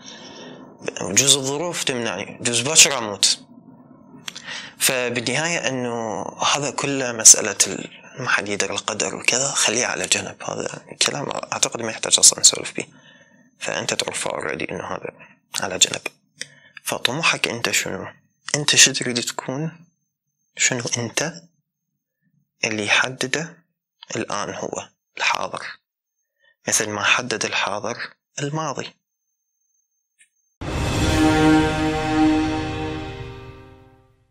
النصيحة الثالثة آه، هي الطريقة الصحيحة للدراسة. وسوري إنه النصيحة الثانية أخذت وقت طويل بس كان لازم احكي كل اللي حكيته آه، فالطريقة الصحيحة للدراسة أكو حكمة شو تقول؟ حكمة كلش لطيفة. يقول آه، أسرع طريق للوصول هو الطريق البطيء. شلون يعني؟ يعني أحيان كثيرة ان إحنا نستعجل الأمور. ويعني نريد نمشي بسرعة ونريد نوصل بسرعة فنصير نتعثر. نتعثر وجوز نتأذى وبالنهاية نوصل متأخرين. بينما لو طريق الهادئ طريق البطيء على كيف نمشي؟ خطوات ثابتة. فبالخطوات الثابتة إحنا نقدر نعدل إنجازات. أما الخطوات السريعة فلا. أنا بالعكس جزء نعدل اضرار نعدل الهفوات اللي قاعدة تصير. فالطريقة الصحيحة للدراسة هي الطريقة البطيئة. يعني لا تتصور إنه أنت يعني راح تقدر يعني تدرس بشكل مضبوط و... وتتعلم طريقة صحيحة بالدراسة وأنت بعجلة وب... أنا اليوم لازم يجي أدرس اليوم لازم يجي أسوي اليوم لازم لا اهدى اهدى. أكو أنا شخصيا بصراحة مرت علي أوقات يعني الصفحة أخذت بيها الساعة كاملة. كانت صفحة بسيطة يعني أصلا يعني ما بيها ما بيها ذاك الشيء المهم أصلا وحتى أصلا ما أدري إيش درست بهاي الصفحة وقتها يعني. يعني كانت أخذت ساعة على الرغم من إنه كل ما فهمت منها فأحيانا تحتاج يعني إنه تصرف وقت ب يعني بهيجي شغلات حتى تتعلم تتعلم شلون تتعلم. فاللي كانت المشكلة بهاي الصفحة إنه أساسا أني عندي هواي مفردات هواي حافظ كلمات. بس ربط هاي الكلمات بنص بحيث إنه أفهمهن كنص ما كان سهل كان صعب. فكان تركيزي بهاي الصفحة أنا قاعد أقرأ إنجليش. بس مادة علمية يعني. يعني عبارة عن لغة إنجليزية مادة علمية. المادة العلمية نفسها مو كلش قدرت أفسرها. بس كلغة إنجليزية قدرت أفسرها بس بصعوبة. الصفحة الثانية أخذت وقت أقل. الصفحة الثالثة الشابتر الثاني الشابتر الثالث. أخذ يعني الفصل شابتر يعني فصل. فأخذ وقت أقل. فبهالطريقة أنه كانت طريقة بطيئة. طبعا لازم أدقق على كل كلمة لازم أربطها. يصل أحيانا لدرجة أنه أستخدم قواعد اللغة الإنجليزية حتى أفهم النص. مرة مثلا أنه عبارة عن عصب. عصب بينزل يعني أحد ال cranial nerves ما أتذكر cranial nerves يعني الأعصاب المنطلقة من الدماغ ما أتذكر أي عصب بالضبط. بس هاي قبل أربع سنوات خمس سنوات هذا الحكي. ف يعني ما أعرف إنه يعني ما كنت أعرف أصلا إذا عندنا right و left ولا هو بس واحد. فهو يعني شلون شلون المفروض أعرف يعني؟ وما كان عندي مثلا يعني هاي المهارات إنه أروح الكتب ثانية أشوف أشوف صور. ما كان عندي هاي المهارات. وضوعت قلت هو قايل آه يعني أكو s s الجمع. فمن أكو s الجمع يعني اثنين. على الأقل اثنين. فخلص اثنين. ما معقول يكون ثلاثة؟ يعني لأنه الجسم الجسم symmetry يعني آه يعني متناظر. فبالغالب يعني وخصوصا موضوع الأعصاب هاي نقطة يعني. فخلص إنه اثنين أكو. ف s هاي ال s طبعا هاي ال s ما كنت راح أشوفها لأنه كنت مدقق. يعني كطالب قبل كم يوم شوي ضحكني بصراحة. أكو شي اسمه tremor أكو شي اسمه trembling يقول أنا كل ما أجي trembling أو tremor اثنيناتهم أقراها نفس الشي بحيث أنه تنخزن بدماغي trembling و tremor هي tremor كلمة واحدة. فيعني فشي شوية تضحك وبنفس الوقت إنه يعني يعطي حكمة. إنه أنت إذا تدقق وتفهم بشكل صحيح يعني راح تقدر تتعلم بشكل صحيح. ونقطة مهمة هواي بصراحة يعني أنا عندي أصدقاء ينتقدوني على طريقتي المعقدة بالدراسة والبطيئة. يقولوا لي طريقتك بطيئة. صح بطيئة بس هاي الطريقة البطيئة اللي أنا قاعد أدرس بيها لما أدرس فد شي بالغالب بالغالب ما راح أنساه. وإذا نسيته فمن أجي أريد أرجع مرة ثانية أدرسه حيكون كلش بسيط لأنه أنا يعني مثل اللي مكون هيكل للمعلومة هيكل المعلومات هيكل هذا المرض مثلا الدايبيتس درسته وتعمقت بيه وأخذ وقت وتأخرت بيه وبطيء بيه بس مع ذلك إنه خلص تكونت الهيكلية مال هذا المرض. بعدين من أنسى تفاصيل معينة أرجع أريد أراجعها. اني الهيكل موجود وراح يبقى موجود إلى الأبد. بس التفاصيل هي اللي ممكن تضيع أرجع بسرعة أقدر آه، يعني أراجعها. نفس هذا الشخص اللي اعترض علي إنه أنت بطيء بالدراسة. بعدين ما راح ينسى ال diabetes ويرجع يريد يراجع راح يأخذ نفس الوقت اللي أخذه بأول مرة درس بيه ال diabetes بينما أنا راح أخذ وقت جدا بسيط مقارنة بالوقت اللي هو راح يأخذه. ولما أنت آه، تتعامل مع الأمور بهالطريقة أنه أنا هاي السنة مثلا السنة الأولى كلها طلعت أنه من ال metabolism. metabolism أنا دارسه مضبوط. فاهم ال metabolism مال الجسم مضبوط. آه، فهمت آه، مثلا ال tissues of the body مادة ال tissues of the body أنا فاهمها مضبوط. وفهمت ال health and disease ذني فاهمهن مضبوط. ذني بعد مني يرجعن عليك مرة ثانية. من ينعادن عليك مرة ثانية. أنت ذني مضبطهن راح ياخذن وقت أقل. بينما بالمقابل مثلا ال MGD ما مضبطها زين. ال gel electrophoresis ما فاهمة مية بالمية. ترجع عليه تراجع. okay تمام. تقرأ من جديد تقرأ زين. أنت ما قارئ زين تقرأ زين. تمام. بس الفكرة انه أني لأنه طريقتي بطيئة فقدرت أضبط ثلاث مواد. بس مادتين يعني ما قدرت أضبطهم بشكل مضبوط. فذني الثلاث مواد. مع ذلك يعني ذني الثلاث مواد. درستهن زين. بعد من يرجعن ينعادن أني حال مشكلتهن. وكأنه أنت مثلا يعني آه، خلينا نقول آه، عندك فد عدو معين. هذا العدو يعني بين فترة والثانية لازم يجي يأذيك أو يتحارش بيك. فأنت مرة من المرات قررت خلاص إنه هذا العدو أنا راح أجي بكل العدة مالتي عليه وأقضي عليه. بحيث هذا بعد خلاص أنا مأمن من عنده هذا بعد ما تقوم له قائمة. خلاص. أنا نهيته.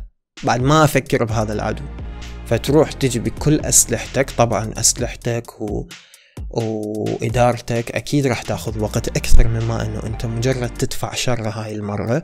وتظل مثل مثل notification يعني مثل الإشعار اللي يجيك بالموبايل أو المنبه كل شوية تدوس يعني غفوة أو شو تسميها؟ sneeze أو snooze أعتقد اسمها snooze أي كل شوية إنه تأجيل تأجيل تأجيل تأجيل تأجيل تأجيل فيبقى حلك مو مثالي. فأنت أفضل شي شو تسوي؟ أنت دوس stop خلاص بعد توقف وارجع نام زد ما تريد تقوم ارجع نام ليش تضل كل شوي دوس snooze snooze snooze snooze. لا نام. ف دائما حل الأمور بطريقة جيدة. مثالية حتى بعد ما ترجع تظهر لك بالمستقبل. فهي هاي الطريقة البطيئة هي هاي قصدي بيها يعني. بهذا الجزء من المحاضرة راح أتكلم عن موضوع ال English شلون المفروض أتعامل مع الكلمات الإنجليزية اللي راح تطلع لي جديدة بالنص. وراح أتكلم أيضا عن شلون المفروض أتعامل مع المحاضرة بعد ما صارت باللغة الإنجليزية. أو مع المصدر أو مع الملزمة محاضرة ملزمة مصدر فصل من مصدر أيا يكن أنا قاعد أتعامل مع نص بالإنجليش. شلون المفروض أتعامل وياه؟ وشلون المفروض أتعامل مع موضوع اللغة الإنجليزية؟ أول نقطة قبل لا أتحدث عن موضوع الإنجليش لازم تخلي بالك نقطة مهمة جدا هي أنت بالمادة العلمية مثل أنه فيزياء طبية مثل أنه ميتابوليزم آه مثل آه مثلا بشر عقبة أنه راح تدرس مصادر راح تدرس محاضرات. أنت مطالب بشنو؟ مطالب بالمادة العلمية. مطالب أنه تفهم وتستوعب المادة العلمية وتناقش بيها تمتحن بيها تأخذ درجة تنجح تترفع للمرحلة الثانية والثالثة والرابعة وإلى آخره. فهذا اللي أنت مطالب به. بشكل فعلي. هذا هو الهدف الأساسي. هاي هي الغاية الأساسية لدراستك. فالغاية الأساسية شنو؟ المادة العلمية. طيب والإنجليش؟ الإنجليش مو غاية وإنما الإنجليش هي عبارة عن عقدة. أنت قاعد تتعامل وياها حتى بعدين بالمستقبل ما تبقى عقدة تنحل وتروح. فالغاية الأساسية شنو؟ الغاية الأساسية فهم هذا النص مو حفظه. فهمه استيعابه كمادة علمية هاي هي الغاية الأساسية. فشون أحقق هاي الغاية؟ بهالطريقة. أول شي أجي the body as a machine. الجسم عبارة عن آلة. أعتقد بالغالب إحنا كل إحنا نعرف body وكلنا إحنا نعرف machine شنو معناتها ف the body as a machine. فهمت استوعبت ترجمتها. الجسم عبارة عن آلة. أوكي؟ أو الجسم كآلة. الجسم كآلة شبيه الجسم كآلة. It must have a source of energy. يجب أن يملك شنو؟ مصدر للطاقة. أعتقد يعني هذا النص سطر تقريبا. كل إحنا ما عندنا مشكلة بيه من ناحية الإنجليش. ما عندنا كلمات ما نعرفها بيه. طيب. فيحتاج شنو؟ يحتاج كطاقة تفسر. يحتاج تمشي baby steps baby steps شنو معناتها؟ معناتها خطوات الطفل. الطفل أول ما يتعلم مشي ياخذ وقت طويل فأنت أخذ وقت طويل. النص صعب عليك تحس أنه تحتاج تترجم أو مو تترجم تفسر. أنت عمليا body machine have energy source uh, method uh, converting energy ذني كلهن انت كلمات تعرفهن بس ربطهن هو هذا اللي يمكن يعني لأنه ما قاري هواي إنجلش أنت فربطهن بالنسبة لك صعب. فذا body is أو, uh, the body as a machine الجسم كآلة. يعني لما أعتبر الجسم آلة فالآلة إيش راح تحتاج؟ It must have source of energy. يجب أن يكون عندها شنو؟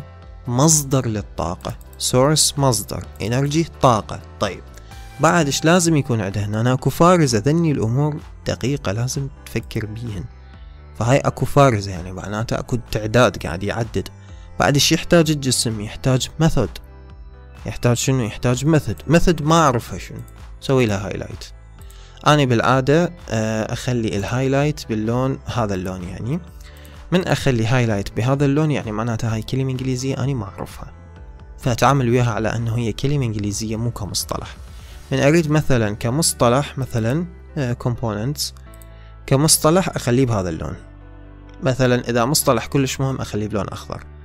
إذا مصطلح أقل أهمية أخليه بلون أحمر مثلا أو وردي برتقالي يعني فألوان أخرى. بس إنه كل لون بالنسبة لي يعني شيء. بمرور الزمن تصير عندك قواعدك الخاصة.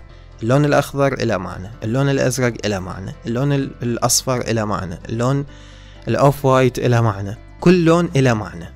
فأنا بالنسبة لي كلمة إنجليزية ما أعرفها جديدة method. فبالنسبة لي هاي كلمة إنجليزية جديدة. اللون مالتها شنو؟ اللون مالتها آه، أزرق يعني معناتها شنو؟ يعني معناتها إنه هاي كلمة إنجليزية أحفظها بس مو هسه بعدين راح نحكي عن هذا الموضوع فأروح شنو؟ أروح الجوجل عندي جو فأروح وين؟ أروح الجوجل مثل ما قاعد تلاحظون هذا عندي جوجل راح أكتب هنا أنا أكتب؟ method أكتب method okay اللي هي طلعت ترجمتها طريقة تمام طريقة أسلوب منهج نظام. طبعا من تقلب بتشوف إنه أكو عندك أو مرادفات هواي أني جوجل اللي اقترحها كترجمة ما اقترح غير جوجل. ليش؟ لأنه جوجل أساسا يعني كموقع وكشركة فال database مالتها كلش كبيرة. أوكي؟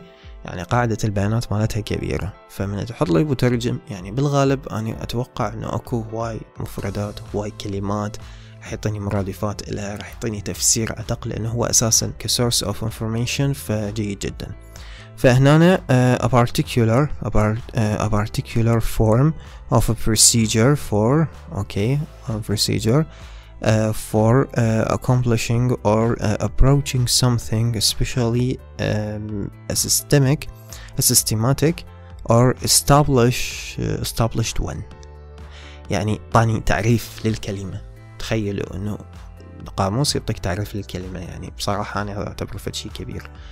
آه فهنا المهم فهمت. طبعا أنت ممكن تترجمها شكل معين من الإجراءات لإنجاز شيء ما أو الاقتراب منه خاصة منه خاصة منهجيا أو ثباتا. طبعا ترجمها للعربي فشل بترجمتها للعربي بس مع ذلك آه إنه فهمت. أوكي؟ فاستوعبت هاي الكلمة شنو معناتها؟ أكمل بس استوعبت معناها. معناها فهمته حتى أتابع دراستي أتابع قراءتي للنص. مو حتى أحفظ الكلمة. لا أنا هسه ما قاعد أتعامل مع حفظ الكلمات. أنا ما مهتم هسه بحفظ الكلمة. أنا مهتم أفهم النص. الغاية الأساسية شنو؟ أفهم النص. أجي يحتاج a method أوكي of converting. Converting هم ما أعرفها. Highlight أروح. أوكي خليتها. كلمة إنجليزية. Converting. Uh, the energy into useful forms. يعني حتى يحول الطاقة إلى نوع من أشكال أو شكل من أشكال الطاقة بحيث يقدر يستفاد من عند الجسم. فهذا معنى النص. ما عاد راح يحتاج and أخير شيء من تكون كلمة and موجودة. يعني معناتها آخر شيء uh, a way of uh, disposing of uh, the byproducts. يعني يكون عنده طريقة disposing. شنو معناتها disposing هم كلمة إنجليزية ما أعرفها. أخلي لها highlight disposing رحت ترجمتها بجوجل. أيضا بنفس الطريقة. إيش طلعت عندي؟ طلعت معناتها خلينا نترجمها. يلا هاي الكلمة الثانية. خلينا نترجمها. Disposing. أوكي. Disposing التخلص من. تمام. هي طلعت التخلص ما يحتاج إنه نروح تعريف إلها. ف disposing حتى يتخلص. يتخلص من شنو؟ من by-products by-products هم ما أعرفها. ما آه ما مر علي by-products يعني شلون مثلا؟ شو أسوي؟ شو تسوي؟ تروح تترجمها بجوجل طيب رحت ترجمتها بجوجل by-products by-products ducts أوكي. ف by-products ثانوية. آه، أو حسب المنتجات. طبعا هي by-products منتجات ثانوية اللي يعني الفضلات تمام؟ ف by-products يعني فضلات آه، أو waste in the body طيب هسه هاي فسر هاي عبارة عن سطر ونص أكثر من سطر ونص. آه، فهمت استوعبت فسرته صح الطريقة بطيئة صح تشتعل القلب. بس بالمستقبل راح تصير أسرع بكثير. الطريقة الصحيحة هي الطريقة البطيئة. حخليها قاعدة عندك. إن تكون بطيئة فمو معناتها غلط بالعكس جزء معناتها صح وجزء معناتها صح الصح مالتي تمام؟ ففهمته هذا استوعبته. آه بعدين شنو راح يقول؟ يعني فهمت إنه الجسم مش راح يحتاج. فهمت هذا النص كله فهمته. خليت ذني كلمات سويت لهن highlight ذني كلمات إنجليزية جديدة علي بعدين أتعامل وياهن طيب Uh, the body uh, the body uh, okay. In the body the source of energy is food. بالجسم مصدر الطاقة أو بالنسبة للجسم المفروض. يعني the body ال English بصراحة يعني مو كلش دقيق بهاي الملزمة. بس مع ذلك يعني إحنا قاعد نفهم. In the body بالجسم عندنا مصدر الطاقة هو ال food الطعام اللي ناكله uh, it's uh, processed okay it's processed يعني يتم uh, يتم معالجته it's processed يعني يتم معالجته in the digestive system and uh, then combined with O2 in the cells of uh, body uh, to release energy يعني uh, راح يتم هضم الطعام بالجهاز الهضمي digestive system الجهاز الهضمي بعدين راح يتم دمجه combined يعني يتم دمجه أو اتحاده مع الأكسجين. حتى شنو؟ حتى نقدر نستخلص من عنده الطاقة. عملية التنفس تمام؟ أو respiration. اللي هي هنا راح تصير معناتها التحلل السكري. شلون يصير التحلل السكري؟ وهاي دورة كريبس اللي أخذتوها بالسادس وكذا. فهو هذا معناها هو هنا قصده يعني. فهذا أيضا فسرته كلمات الإنجليزية مرت علي جديدة مثلا شنو؟ roots مثلا هاي كلمة إنجليزية مرت علي هماتين أخلي لها highlight بي أيضا بلون خاص فهذا highlight فكملت النص كله فهمت من عنده طلعت بخلاصة. شنو هي الخلاصة؟ يابا أنه الجسم البشري هو عبارة عن آلة. الآلة تحتاج يعني مصدر للطاقة. وتحتاج هماتين طريقة حتى تستخلص من هذا المصدر الطاقة اللي هي تحتاجها وتحولها إلى شكل بحيث تستفاد من عنده. بعدين كل آلة راح يكون يعني تطلع فضلات. هاي الفضلات لازم يكون عندها طريقة ماتين تتخلص من هاي الفضلات. أه وبعدها إنه الجسم البشري الطاقة مالته هي ال food. الطاقة اللي أو الفيول اللي هو عبارة عن يعني ال source of energy مالتنا هو ال food. فإحنا هذا ال food راح ناخذه نهضمه بالجهاز الهضمي وبعدين ناخذه من الجهاز التنفسي الأكسجين وندمج الأكسجين ويا ال food اللي قاعد ناكله وبالنهاية نطلع طاقة نشتغل بها على باب الله. تمام؟ فهاي هو هذا الجسم البشري. يحتاج أنت بعد تأخذ أفكار أكثر بعد من هذا؟ يحتاج أنه تعب نفسك بالنص أكثر من هذا؟ لا. أحفظ نصا أجيب هذا نصا وكانه عندي لترشر بالانجلش عبالك عندي الأدب الإنجليزي عبالك هي مقطوعة شعرية أجي أحفظها نصا؟ لا. كل هذا لا. فهمته بس فهمته وعفته. خلاص هاي معلومات مو مهمة. بس أفهمها بس أستوعبها. وأخذ من عندها كلمات إنجليزية أحفظهن. حتى استرزقت من عندهن كلمات. على باب الله أحفظهن. وبالمستقبل أيضا. تساعدني ذني الكلمات على أنه أفهم نصوص أخرى وأني هم على باب الله. فهذا كله فهمته استوعبته وما يحتاج بعد. أكمل هذا النص. أيضا هذا النص أفهمه وأستوعبه بنفس الطريقة وكل كلمة إنجليزية تمر علي أحددها أسوي لها highlight بالنسبة إذا تقرأ أنت بورقة وقلم فعندك highlight هماتين تقدر تسوي أو خلي جواها خط. هاي انتهت. تمام؟ ترجمها بجوجل. أوكي جوجل بالنسبة لنا كلش مهم. فترجمها بجوجل تفهمها وتستوعبها بجوجل وتكمل النص تقرأ تفهم النص خلصت النص. هاي هي الطريقة اللي تتعامل وياها مع الكلمات الإنجليزية الجديدة اللي تمر عليك. من أنت وقاعد تقرأ. طيب كملت دراسة. كملت درست كملت يعني من الستة للتسعة أني أقرأ. كملت دراسة. شو أسوي بعد؟ ترجع للمحاضرة نفسها. عندك أنت كلمات إنجليزية لازم تحفظهن تعامل وياهن يوم بيومه. إذا قدرت طبعا. إذا ما قدرت خلي رينج إنه أنت كل يومية تحفظ عشرين كلمة. كل يومية أني من الساعة 11 بالليل للساعة 12 أني أحفظ كم كلمة؟ خلال الساعة أو إنه أني أحفظ بس عشرين كلمة. كل يومية. حتى لو أني وقاعد أمشي من طريق البيت إلى طريق الكلية. حتى لو واني هيك بال يعني فرصة عندي ما بين المحاضرات فأقعد بس أحفظ بهن كلمات. عادي نظم وقتك وزع المهام عندك على مدى اليوم. إيش ما تسوي سوي. بس المهم تحفظ الكلمات. هواي من الطلاب شي يسوون؟ ويعني عمليا أعتقد أنا ما تيجي أسوي بالبداية بعدين مرة مرتين اكتشفت ان هذا الشي كلش غلط آه وتركته ما استمرت عليه. أستغرب إنه أكو طلاب استمروا عليه بصراحة. آه اللي كنت أسويه شنو؟ أجي أقرأ النص. بالنسبة لي أنا ما قاعد أقرأ النص أنا قاعد أروح أريد أشوف الكلمات اللي ما أعرفهن. فأجي مثلا ميثود هاي ما أعرفها. خلي جواها خط وأترجمها وأكتب طريقة أو أسلوب. أجي converting تحويل تمام؟ هم جواها خط وأكتب فوقها الترجمة. وأكمل.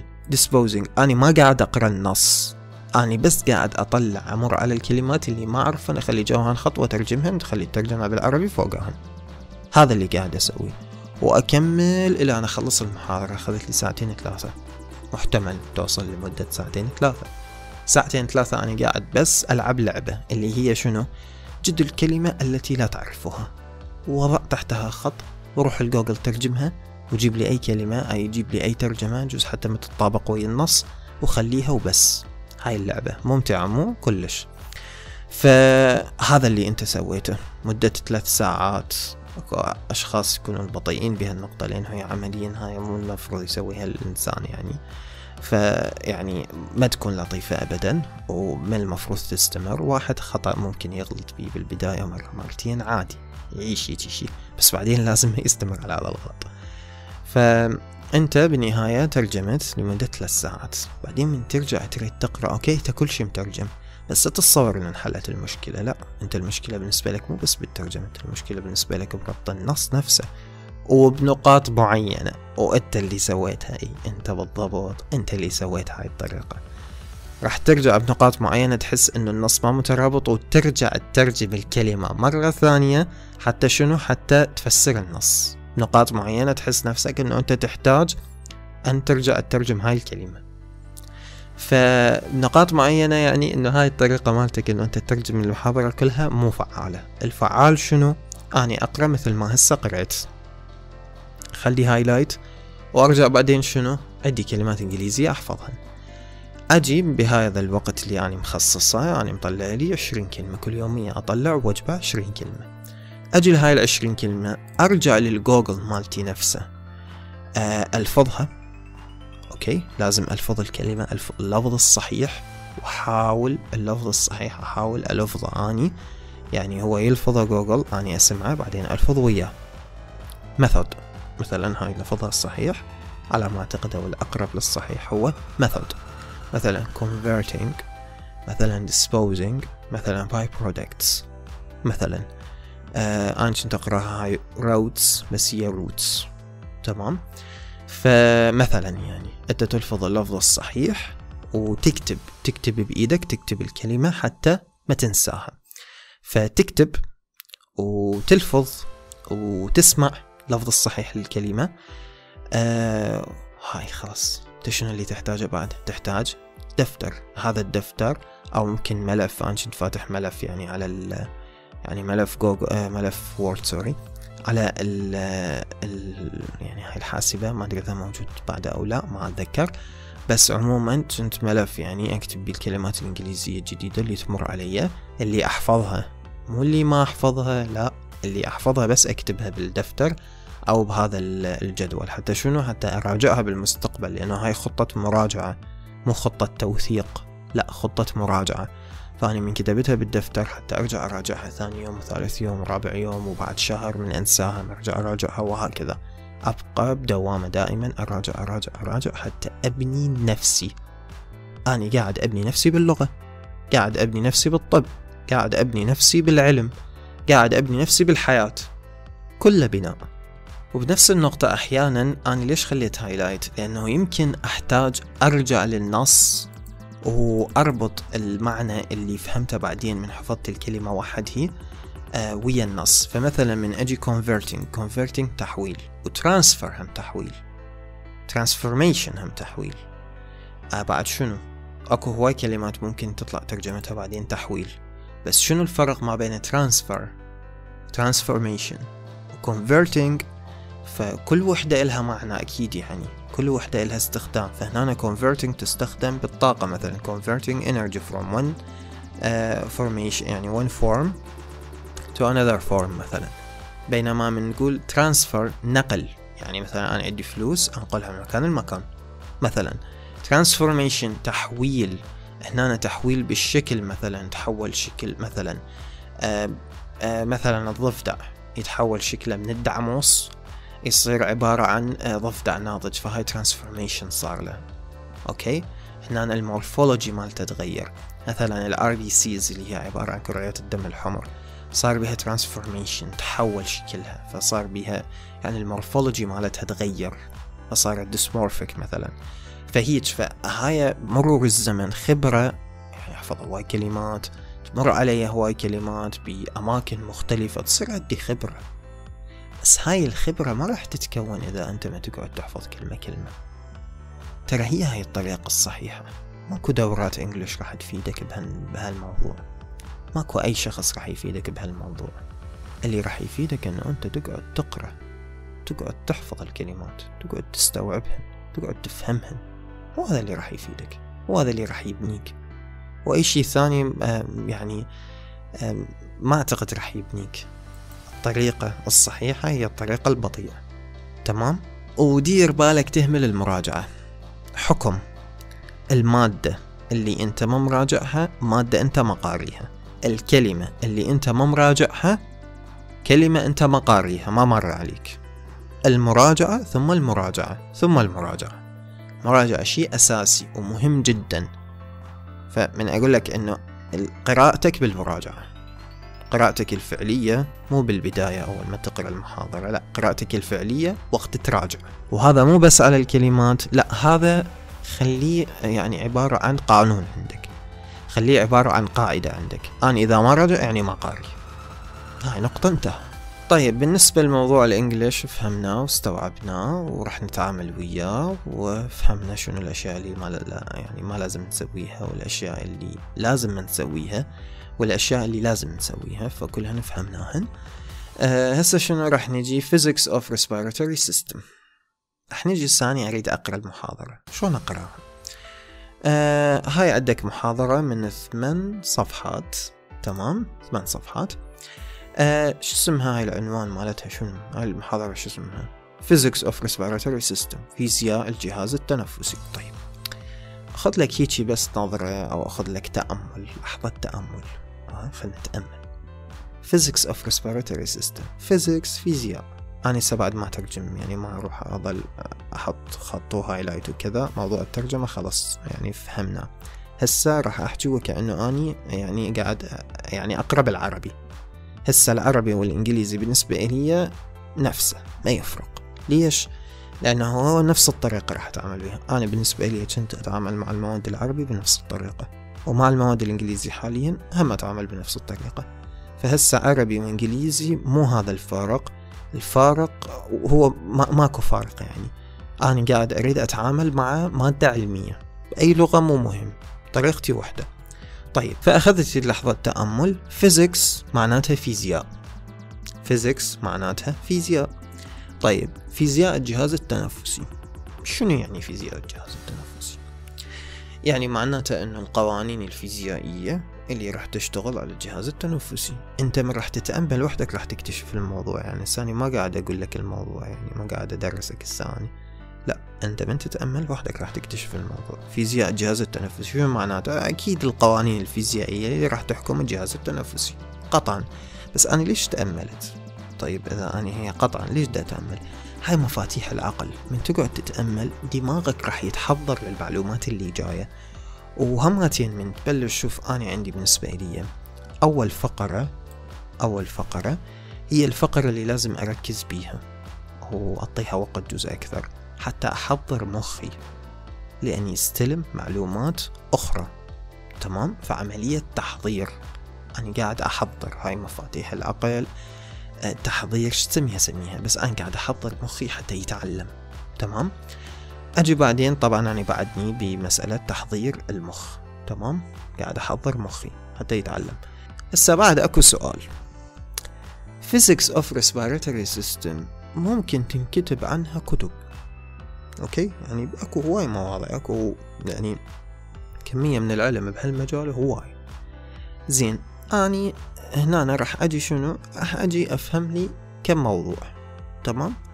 كم معلومة عن ال physics of respiratory system هو ما راح ادرسها اني كلها كلها من البداية للنهاية كل ال physics of respiratory system لا أنا راح أدرس لي كم موضوع مثل ما أحياء السادس الخلية.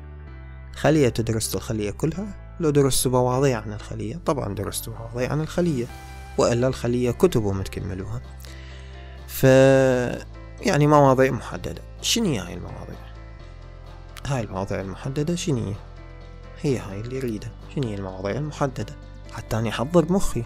وأنتم تعرفون أن المخ يعني ما يجي بسهولة. يعني انت عبالك إن المخ مثلا انت اول ما تريد رأسين يجيك لا.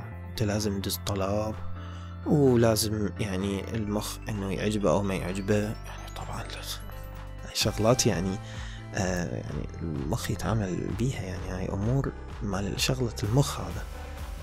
يعني أنت لازم ضروري ضروري جدا إنه تدعو المخ تقدم له طلب وتسوي تحضير للمخ حتى يجيك. يجيك ما يجيك. والمخ يعني يتعامل الأشياء المهمة يعني. شيء مو مهم ما راح يتعامل وياه. فأنت إذا ما أعطيت أهمية للمادة ما راح يجي المخ.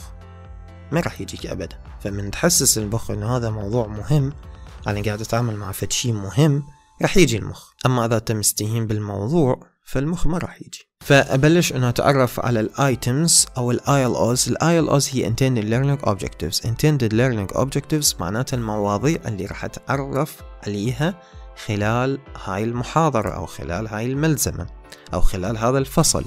فهي عبارة عن المواضيع مال هذا الفصل آه، أو مال هاي الملزمة. فأول شيء introduction مقدمة. أي كتاب أي مصدر أي أي محاضرة أي فصل لازم يكون عنده مقدمة. تمام؟ وتعرف نحن عن المقدمة قبل شوي. بس عندي مقدمة. أول شيء مقدمة عندي. بعدها إيش عندي؟ عندي respiratory system tracts. شنو معناته respiratory system tracts respiratory system جهاز التنفسي tracts يعني معناته إنه الايرويز عبارة عن آه، الممرات الهوائية الموجودة بالجهاز التنفسي راح تنقسم إلى upper و lower upper يعني علوي ولور يعني سفلي. فراح تتقسم راح يقسم. هنا يعني معناته راح يشتغل اناتومي تشريح. تمام؟ فهذا الموضوع الثاني. فسعدي مقدمة respiratory system tracts. الموضوع الثالث ventilation perfusion ratio. يعني نسبة نسبة آه، التنفس إلى البرفيوجن بيرفيوجن شنو هو؟ هنا نجوز تحتاج جوجل تحتاج تترجم تحتاج تروح يوتيوب. أفهم perfusion هنا أنت فسر فسر المواضيع. روح اكتب perfusion على جوجل اكتب perfusion آه يعني آه باليوتيوب. افهمها راح تطلع عندك animations آه افهمها افهم perfusion شو معناتها. وانت راح ترجع هنا تفهمها بس تاخذ فكرة عنها شي كلش لطيف. فتفهم هذا العنوان شنو معناته. يعني يتكلم عن شنو؟ شنو شنو معناته؟ آه ventilation آه perfusion ratio. شنو معناته؟ فهاي تروح تفهمها يعني. آه بعد شنو اللي تسويه آه الرابع gas exchange عملية التبادل الغاز الغازي. الغازي. أوكي نفس الشيء الغازي.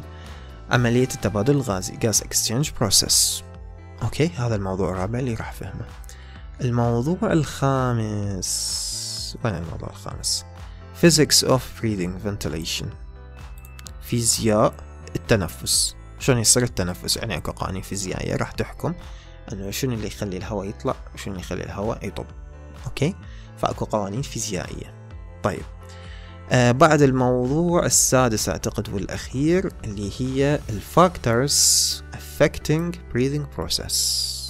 Factors affecting breathing process. يعني أكو عوامل تأثر على عملية التنفس. شنو هاي العوامل؟ وراح تتعرف عليها خلال هذا الموضوع. فهنا أنا, أنا فسرت عرفت إنه العناوين المواضيع. أنا إيش راح أدرس؟ ما يمنع إنه تقلب يجي تقلب سريع مثلا أنت مو بس المواضيع الفرعية مثلا لأن كومبلاينس شنو معنات compliance تأخذ فكرة. كل ككلمة إنجليزية. لأن compliance شنو معناتها؟ أوكي؟ compliance يعني التزام يعني مطاوعة. يعني إحنا من نقول مثلا patient compliant ولا non compliant. compliant معناته ملتزم بالدواء مالته. non compliant يعني ما ملتزم بالدواء مالته مثلا. uh, surface tension of all of you lie surface tension تروح تترجمه. الشد راح تطلع لك الشد السطحي. وإحنا ماخذين الشد الصفحي الشد السطحي. الشد الصفحي. أوكي. الشد السطحي ماخذيه بالفيزياء الصف الرابع.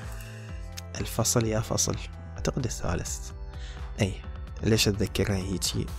لأنه قاريها وقتها زين. عموما آه شفتوا الشغلات اللي تقراها زين تبقى تتذكرها. تعرفون بالنسبة لي أني الرابع إعدادي قبل كم سنة؟ أعتقد ما لا يقل. يعني هو عمليا أنا عمري خمسة وعشرين سنة فمن كنت خمسة سنة. يعني تقريبا خمسة ستة عشر قبل تسع سنوات. نقول عشرة لأن يعني يعني عن قريب أصير ستة وعشرين. طيب ف airway resistance مثلا عادي إنه يعني عادي تتعرف عليها airway resistance airways يعني معناته الممرات الهوائية. resistance مقاومة. فهنا شنو راح يحكي عن ال asthma وال emphysema. emphysema أعتقد ما موجودة هنا بس asthma. تمام. فراح يعني راح يتعرف على هاي الأمور. فأنت تقلب الملزمة. طبعا ما راح تاخذ وقت هواي على فكرة. يعني وهذا جزء من دراستك أنت من قاعد تقلب مو معناته أنت ما قاعد تدرس هذا جزء من دراستك. فقلبت وفهمت هذا المواضيع اللي راح تعمل وياها أجي لل introduction introduction قريتها هاي كلها ما شفت بها معلومة مهمة فيعني خلاص إنه هي كلمات فهمناها قبل شوية واستوعبنا. الموضوع وفشي بسيط وما يحتاج أعطي وقت أكثر. آه بعد شنو؟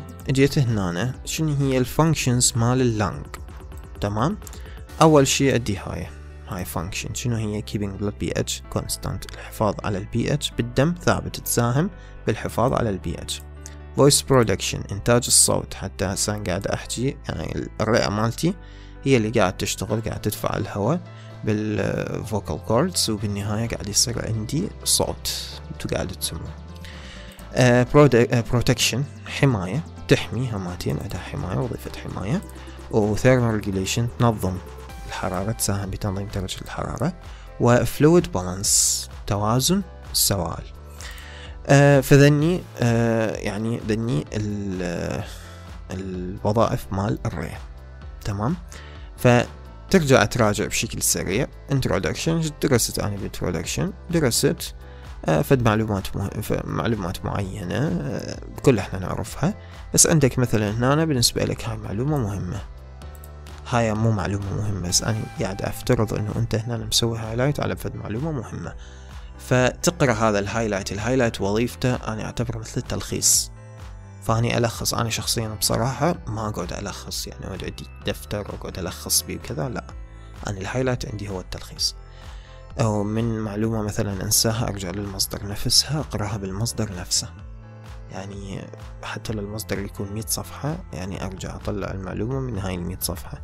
لأنه من خلال highlight من مسوي highlight ومن هيج دارس بهالطريقة يعني راح يكون عندي سهل جدا أن أوصل المعلومة من خلال المصدر بشكل مباشر. ف يعني بهالطريقة أتعامل طيب آه فهاي بالنسبة لي مسوي لها highlight فهم أراجع هاي المعلومة. أحيانا أسوي highlight على كلمة واحدة. كلمة واحدة أسوي لها highlight آه هاي الكلمة ممكن هي تكون أهم كلمة بكل هذا النص وهي بس اللي أول ما أجي أريد أراجع النص كله اللي ممكن تكون صفحة كاملة بس أراجع هاي الكلمة أبغى عليها أستذكرها أعتبرها هي الشيء المهم من كل هاي الصفحة. وأفسر الكلمة وكون طبعا هاي الكلمة مرتبطة بموضوع أكيد مو هيك كلمة فضائية. بس فسرتها وخلص انتهى. بعد ما أفكر يعني بأمور أخرى بس هاي. آه يعني الصفحة كلها بالنسبة لي راح تبقى بس الموضوع المرتبط بهاي الكلمة أو هاي الكلمة. آه بعدها جيت هنا ذني مسوي لهن أني highlight كلهن. ليش؟ ذني عبارة عن وظائف الرئة فذني أحفظهن وأراجعهن. لأني مهمات يجن ممكن يقول لك يعني. وبالغالب يعني أعتقد بالغالب راح تجي لأنه أنت عندك خمسين سؤال على يعني الفيزياء الطبية فبالغالب راح يجيب لك هاي الأشياء. آه شنو هي وظائف أو عدد اثنين من وظائف الرئة؟ ممكن يجيبها فراغات. فذني مهمات يعني ممكن يجي. آه بعد انتقلت للموضوع الثاني respiratory system tracts. أيضا عرفت أنه أكو upper respiratory tract lower respiratory tract. ممكن بهاي النقطة تحتاج تروح مثلا يعني فيديو يفسر لك إنه respiratory system بشكل سريع. تروح للفيديوهات السريعة. هنا ما تحتاج فيديوهات عميقة فيديوهات سريعة. فبس يفسر لك إنه respiratory system بس تاخذ فكرة إنه من شنو متكون. آه، أو ممكن تروح مثلا مصدر مصدر من المصادر الموجودة على هاي القناة. آه، مجرد إنه تشوف صور عن system. آه، بعدها تروح حماتين هذا كله تقراه أوكي. توصل لهنا وصلت لهنا. كل ما تعدي موضوعين راجع الموضوعين راجع اللي قبله كله. فترجع هنا وصلت لهنا. هذا اللي أنت وصلت له. صفحة اثنين. ترجع تراجع صفحة واحد تبلش من صفحة واحد من البداية. أنا شخذت أنا دا أدرس؟ Physics of Respiratory System. تمام. شنو يعني Physics of Respiratory System؟ يعني القوانين الفيزيائية اللي راح تحكم الجهاز التنفسي بحيث أنه يصير عندي عملية التنفس وهاي وكل هاي الأمور اللي فهمتها قبل شوية عن المحاضرة من قلبت بيها. طيب شو درست أنا لحد الآن؟ درست introduction إيش بيها ال introduction بيها بس هاي المعلومة المهمة. هاي بس إني المفروض أركز عليها. وبهذني الكم معلومة اللي هي وظائف الرئة. تمام خلاص. راجع هنا على السرير راجعتهم. that uh, respiratory system tracts هذا شنو؟ هو هذا عبارة عن كذا طيب شنو موجود به مهم؟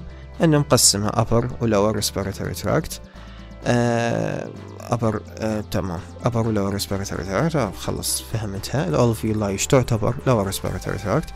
بهالطريقة. skip يعني كملت. هذا شنو معناته هنا؟ how blood and lungs interact. سؤال جاوب عليه. أنت جاوب عليه. شلون شلون يتم ال... يعني التفاعل؟ شنو التفاعل اللي يصير ما بين ال blood وال lung فتجاوب عليه. يعني انت طبعا تكون قرأت وفهمت واستوعبت وسويت highlight مثلا هنا. هاي سويت لها highlight فأنت هذا السؤال تجاوب عليه. جاوب عليه شلون؟ جاوب عليه. أحفظ نصا؟ لا ما عندنا حفظ نصا إحنا. ماكو حفظ نص أنت اللي تسويه هذا تجاوب عليه. أنت بلغتك الخاصة أنت مو اليوم تدرس English أنت المفروض إنه ماخذ تسعة وتسعين بال English لو مية فالمفروض إنه أنت تعرف تعبر ولو شوية بال English وخلال الدراسة راح تصير عندك قدرة إنه تعبر. يعني ما متوقع من يعني ما متوقع منك الشيء الكبير راح يتم التوقع منك الشيء الكبير من تدرس محاضراتك هسه. ف يعني آه، تفسره بأسلوبك. طبعا هنا أنا ما أنصحك أنه تروح تفسر بالإنجليش. لا عادي بالعربي مو مشكلة بس استخدم مصطلحات بالإنجليزي. يعني أنت من تراجع بينك وبين نفسك من تقرأ بينك وبين نفسك. احكي بالعربي عادي بس استخدم مصطلحات أو كلمات إنجليزية. قد ما تستخدم كلمات ومصطلحات إنجليزية كل ما عودت نفسك على المصطلحات والكلمات الإنجليزية. آه فراجعت على السريع بعدين رجعت ventilation perfusion ratio. هم قريتها كلها قرأت هذا كله الثاني ووصلت آه لهنا الموضوع الخامس. هماتين تتوقف وتراجع اللي قبله. مراجعة دقيقة مو مراجعة هيجي شلون ما كان لا مراجعة دقيقة. المراجعة أساس أني أراجع أثناء ما أدرس كل موضوع أقرأ أراجع كملته قرأت الموضوع الورا أراجعهم اثنيناتهم. بهالطريقة أنا شخصيا بهالطريقة أقرأ وأفسر وأدقق على كل كلمة. لأنه من أقرأ هيجي وبعدين بعدين هم أراجع الملزمة كلها أراجعها دفعة واحدة ترسخ المعلومة. بالنسبة لي هاي بالغالب يعني إذا جيت أريد أقرأها وقت الامتحان أقلبها بخلال خمس دقائق بس. فبهالطريقة أقرأ. أقرأها مرة واحدة أراجعها مرة واحدة آه كلش كافي. يعني بهالطريقة كلش كافي. ما يحتاج أقعد مثلا يعني بوقت الامتحان هماتين أقعد أطلع الملازم وأقلب الدنيا وأقرأها من جديد وكأنني ما قاريها قبل واللي يسألون التشتت ليش دا يصير؟ بسبب هذا الشيء أنت تقرأها مرة واحدة وتعوفها ومن تقرأها ما تقرأها بتركيز عالي. طبعا يصير تشتت.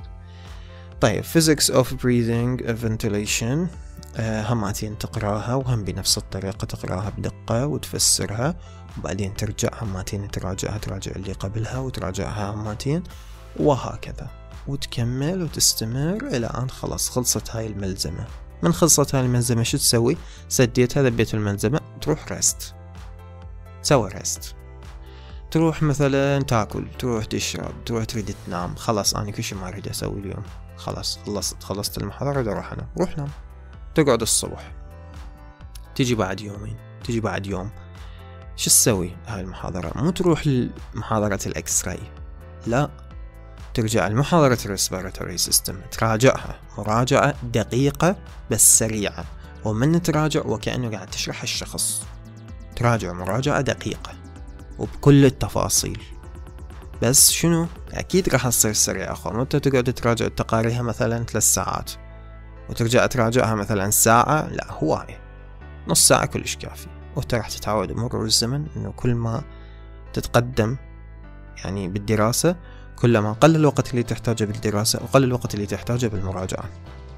وزادت قدرتك على الحفظ على الفهم على الاستيعاب كل هذا يزداد. بس هسه بطء بطء بطء بطء بطء مو مشكلة. الطريقة الصحيحة هي الطريقة البطيئة. أخلي لافتة بالقلم. آه، تمام. هاي كلها فهمتها ف يعني عالجت الموضوع. قاعد الثاني يوم راجعته راجعت هاي الملزمة خلاص هنا أنت سويت اللي عليك.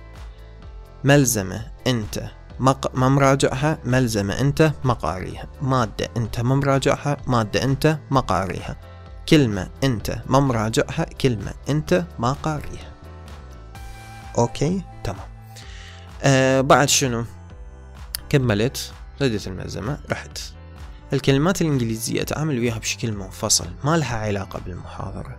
هاي مو جزء من المحاضرة هاي جزء من system أدرس الكلمات الإنجليزية أحفظها وأستوعبها بطريقة منفصلة. طريقة شنو؟ طريقة منفصلة. وهاي الطريقة المنفصلة حتى أطور نفسي للمستقبل. بعد من يمر علي نص تكون قدرتي أكثر على تفسيره. وما أحتاج أترجم هواية هاي هي غاية ال... يعني دراستي للإنجليش. ولا تترك الإنجليش. الإنجليش ما تتركه. تقرأ لازم. تقرأ وتحفظ. لازم. خلي خلي رنج كل يومية أني أحفظ عشر كلمات. عشر كلمات وتستمر عليهن يعني عاش إيدك عشرين كلمة وتستمر عليها عاش إيدك مرتين. تخلي لي بين فترة والثانية بالأسبوع مرة بالعشرة أيام مرة تقعد تسوي لك قاعدة تحفظ بها مية كلمة وبعدين ترجع تنساهن؟ لا بصراحة مو عايش إيدك لأنه ما راح توصل اللي تريده. فيوميا تحفظ كلمات وتراجع. كلمات لازم يتم مراجعتها وتراجعها أكثر من يعني ال المعلومات اللي يعني أكثر من الملزمة نفسها.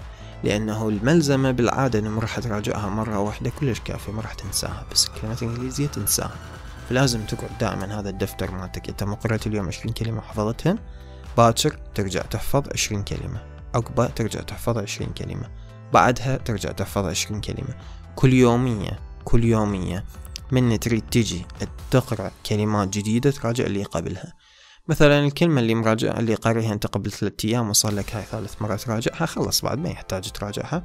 بس مثلا إنه شهر مر عليها شهر هاي الكلمة وانت ما مراجعها ارجع راجعها مثلا بالشهر مرة بالأسبوع مرة. بهالطريقة مرور الزمن بعد ما تحتاج تراجع. الكلمات القديمة بعد ما يحتاج تراجعها خلص أنت عدت. بس آه، يعني هو أنت تبقى حافظها مثلا ما راح تنساها من كثر ما راجعتها بعد ما تنساها. فتوفر وقت لكلمات جديدة ومراجعة كلمات جديدة بهالطريقة يعني آخر شيء آه راح أتطرق إلى حتى أكون يعني أديت اللي علي تجاهكم uh, The two sagittal planes are usually mid-clavicular planes that pass from midpoint of clavicles to the mid-inguinal okay يلا خل أقراها mid-inguinal points شو معنات هالكلام يعني هسه أنا أريد أروح mid-inguinal points أروح أترجمها بجوجل ما راح تطلع عندي أي تفسير منطقي لها آه يعني mid-clavicular planes أيضا ما راح يطلع بالنسبة لي تفسير منطقي لها أعتبرها كلمة إنجليزية هي مو كلمة إنجليزية هي مصطلح. فشنو اللي أسويه هو أصلا هو أصلا المصدر هو مفسر لك إياه. فهو قاعد يقول لك إنه ال mid-clavicular planes هو عبارة عن شنو؟ هو عبارة عن plane هو عبارة عن مستوي أو خط. يمر من منتصف عظمة الترقوة وينزل إلى منتصف المسافة ما بين يعني أو مو المسافة ال ligament اللي هو inguinal ligament اللي هو عبارة عن ligament موجود بمكان معين. فهو مفسرك إياها أصلا. هو معطيك التفسير. فأنت ما يحتاج تروح تترجمها حتى تفسرها. هو العدل هو المصدر شنو شغلته؟ والمحاضرة شنو شغلتها؟ مثلا مرت عليك asthma. تروح تريد تترجم لي asthma شنو معناتها؟ okay سترجمها ممكن تطلع ربو مثلا آه عندنا إحنا الأمراض مثلا SLE اللي هو systemic lupus erythematosus هذا مثلا معروف يعني المرضى يعرفوا إنه يعني مرض الذئبة الحمراء مثلا. فهاي بمرور الزمن انت راح تتعرف عليهن بعدين انه من يشرح الدكتور مثلا المرضى من يجوك زملائك انت تطلع عليهن فراح تتعرف على معناهم بالعربي. بس هنا مثلا ذني مصطلحات آه، لاتينية مصطلحات إنجليزية مصطلحات طبية مصطلحات تشريحية.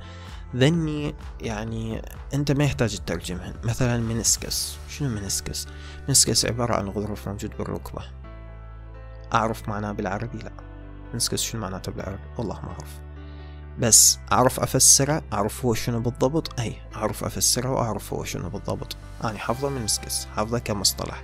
فما أروح أترجم المصطلحات.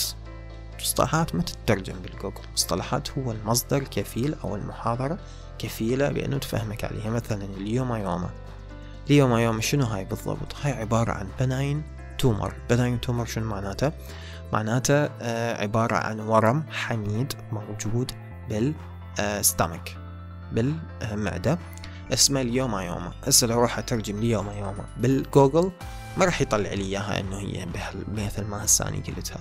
بس بالمحاضرة أنا قاريها هيج فاهمها هيج مستوعبها هيج فالمحاضرة كفيلة بأنه تفسر لي leiomyoma بس أنا شخصيا أروح أكتب لي leiomyoma بالجوجل بس حتى ألفظها. اللفظ بس يوقف أنا عندي. جزء مثلا لفظي مو صحيح عليها فأشوف جوجل يلفظها. بس بس كلفظ اليوم يوم آه بعد شنو؟ آه هذني المصطلحات. ما تتعامل وياهن ككلمات إنجليزية حتى تحفظهن بعدين؟ لا ذني تتعامل وياهن بنفس الوقت. فتجي اليوم يوم تكتبها اليوم يوم تحفظها بنفس الوقت اللي انت قاعد تدرس بيه المادة العلمية مالتك. لأن هاي مادة علمية مو إنجليش هذا. حتى تتعامل وياها بوقت منفصل. لا مادة علمية. فتقراها وتحفظها وتستوعبها وتفهمها كمعلومة كمصطلح لأنه أنت راح تستخدمها بالمستقبل فهي بالنسبة لك مهمة. أما الكلمات الإنجليزية فأنت من البداية أساسا مأجلهن الوقت خاص تتعامل وياهن بطريقة خاصة. النصيحة الرابعة لا تضخم الأمور كلش على نفسك. ما مستاهلة كلش هذا التضخيم. أخذ الأمور ببساطة بهداوة. قاعد أدرس طب. أي ولا طب. يعني ما أنت بعدك يعني أنت أساسا على فكرة مرحلة أولى طب الكوفة. ما فارقة كلش هواية عن علوم. يعني أعتبرها أقرب للعلوم منها إلى الطب صراحة يعني. فما فارقة كلش. فأخذ الأمور بهداوة. أكو طالب يعني زميلي كان. سوى تخرج أعتقد مرحلة سادسة أو تخرج خلاص يعني لو مرحلة سادسة لو تخرج. مرة شفته يعني كنت أني يعني هستوني متخرج من السادس ويعني بعدني أصلا ما ملتحق بأي كلية قضيت سنة بالبيت وقتها. فكنت أشوفه وكنا نتواصل.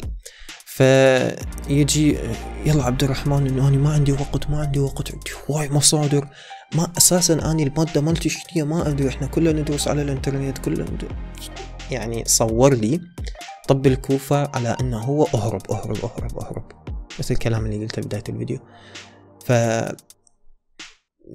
الصراحة يعني بصراحة أنا لما أحد يقول لي هيك يعني يعني على سنوات طويلة حتى من كنت إنه بالمدرسة السادس صعب السادس كذا من يقولوا لي هيك ما يصير عندي ردة فعل عكسية.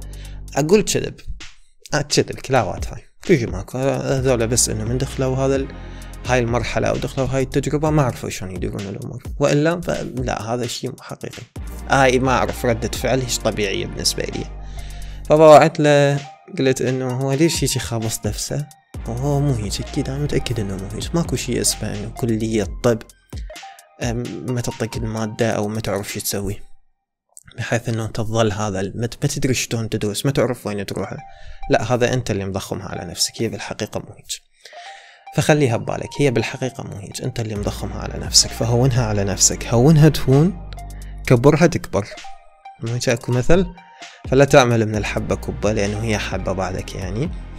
أه وهمتين حتى لو كانت كبيرة فأنت من تاخذها على أنه هي كبيرة وضخمة أكبر من عندك ما راح تقدر يعني آه، تجاريها.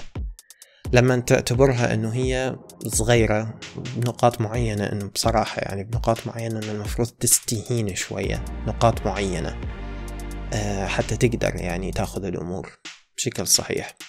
بس أنت من تستهين أنت صلب. يعني آه، مثل اللي يسمح للمشاكل تجي بس هو عارف حلولها. فهو مستهين بيها لما قاعد تجي مطيها الصلاحية إنه تجي بس هو عنده عنده يعني حلولها. ومثل الطبيب اللي يعطي آه مثلا في الدواء معين يعرف نتائجه ويعرف آه الأعراض الثانوية أو يعني الأضرار الثانوية لهذا العلاج. هو عارف شنو هاي الأضرار الثانوية لهذا العلاج. بس هو عنده الطريقة اللي يقدر يعالج بها الأعراض الثانوية بحيث أحيانا يعطون دواء حتى يعالج مرض ويعطون دواء حتى يعالج المشاكل اللي سواها الدواء الأول. فهونها تهون.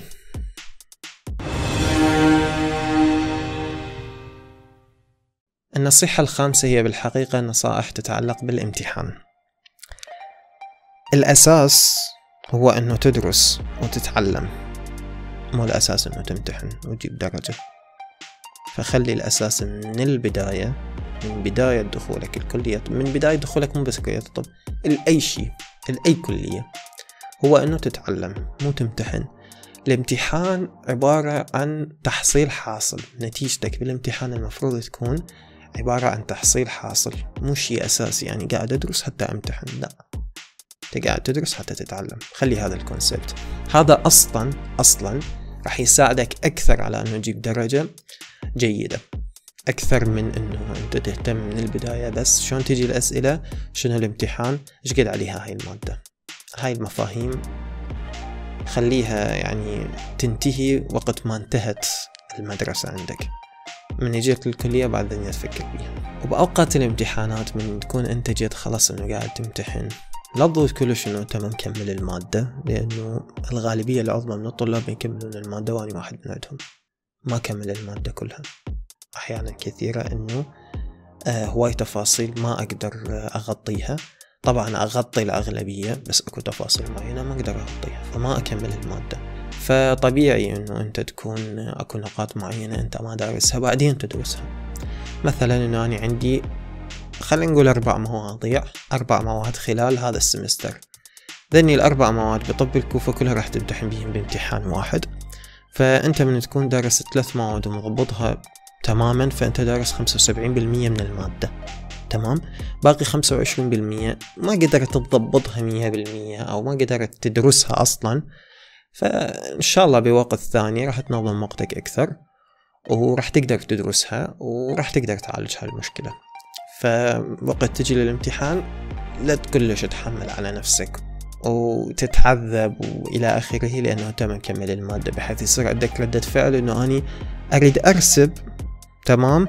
حتى أقرأ هاي المادة لا عيني انجح وبعدين عود ادرس صير لي شاطر بعدين ورا الامتحان مو قبل الامتحان تصير لي شاطر وتريد تأجله.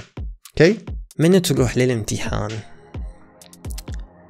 روح واحد قاعد يحارب قاعد يقاتل واحد قاعد يريد يعطي كل ما عنده. بحيث أنا أعتبر أنه أنت دراستك. فأنت منجز خمسين بالمية من المشروع. بامتحانك أدائك وقت الامتحان أنت منجز الخمسين بالمية اللي باقية. لأنه ببساطة المعلومات وين موجودة؟ بمخك. أنت داخل المعلومات موجودة بمخك. شلون راح تطلع المعلومات من مخك؟ إذا خفت فهواي من هاي المعلومات راحت. إذا قلت ثقتك بنفسك فأيضا هواي من عندها راحت. إذا ما عرفت شلون ترتب المعلومة بمخك صحيح بحيث تطرحها أيضا هواي من المعلومات اللي بمخك صارت عديمة الفائدة. أه وأيضا إذا ما فهمت السؤال بالضبط شي يريد؟ راح تجاوبه شي ثاني. فبالنهاية أنه المعلومات الموجودة بمخك هم صارت عديمة الفائدة. فأدائك وقت الامتحان هو يعني بكفة ودراستك اللي قبل بكفة ثانية بحيث أنه هاي كفة وهاي كفة. خمسين بخمسين. أنا شخصيا بصراحة إذا ما كانت بالنسبة لي خمسين بخمسين فتقترب من يعني اقترب النسب متقاربة. حتى لو. يعني ستين بأربعين. okay؟ فنسب متقاربة فأنت وقت الامتحان هذا إدارة بحد ذاتها لازم تدير الامتحان بحد ذاته. ومتأكد أنه أنتم كطلاب طب حاليا بالسادس أكيد عشتوا هذا الشيء. وأكيد تعرفون أنه وقت الارتباك وقت الخوف وقت الاضطراب وقت عدم فهم السؤال بالضبط شنو هو أكيد أنه المعلومات اللي بمخك بالنسبة لك حتى تحل هذا السؤال صارت بلا فائدة وحتى لو كان عندك ربع المعلومات انت عندك كم مادة؟ عندك المفروض أربع مواد. انت قاري مادة ونص. مادة مضبطها ونص مادة قاريها نصها يعني مضبط نصها. وما تبقى يعني ما نقدر نسميك دارسة لأنه أخاف يعني بصراحة نظلم اللي دارسيه مثلا تكون هيك وضعك. فمع ذلك روح امتحن ولا تستسلم. بس إذا رسبت okay. دور ثاني يعني. ما أسوأ ما قد يحدث تكون دور ثاني. okay. أه بس أنت تكون مسوي اللي عليك مثلا. بعد ما عندك شيء ثاني تقدر تسويه فروح امتحن. روح يعني روح بكل ما عندك من قوة. لا تستسلم لا تتراجع. okay؟ لا تتراجع. روح بكل ما عندك من قوة. هذا هو يعني المفروض تسويه. المفروض تتراجع وتخاف و... okay يعني ما دارس. okay يعني قلت لك إنه يعني ما راح تروح للامتحان وانت دارس كل المادة ومضبطها. يكاد يكون مستحيل. فمن تروح للامتحان يعني روح بعزم وبهمة وروح بالنسبة لك إنه آه، اني رايح حتى أنجح. وإذا ما نجحت فأكون عرفت الخلل مالتي وين. أنت إذا ما اعطيت من نفسك يعني الكمية الكافية من الجهد ومن الاستعداد للامتحان بغض النظر عن المادة. أنت مستعد رايح تريد تمتحن أريد أنجح. إذا ما خليت نفسك بهالأجواء و... ويعني طيت هاي الأفكار ورسختها بمخك وقت أنت قاعد تروح تمتحن فما راح تقدر تعرف الخلل مالتك وين. وصدقني وقت الامتحان يعني أنت قاعد تتعلم هماتين فالامتحان هو جزء من تعليمك يعني. أنت وقت تمتحن انت هم قاعد تتعلم فهاي خليها ببالك. الامتحان هو جزء من دراستك بحيث إنه أنت قاعد تتعلم شيء جديد أيضا بالامتحان. حالة حال وقت الدراسة اللي كان عندك خلال السمستر.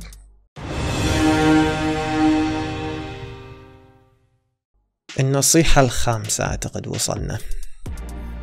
هذا الواقع اللي أنت قاعد تعيشه هاي طب الكوفة.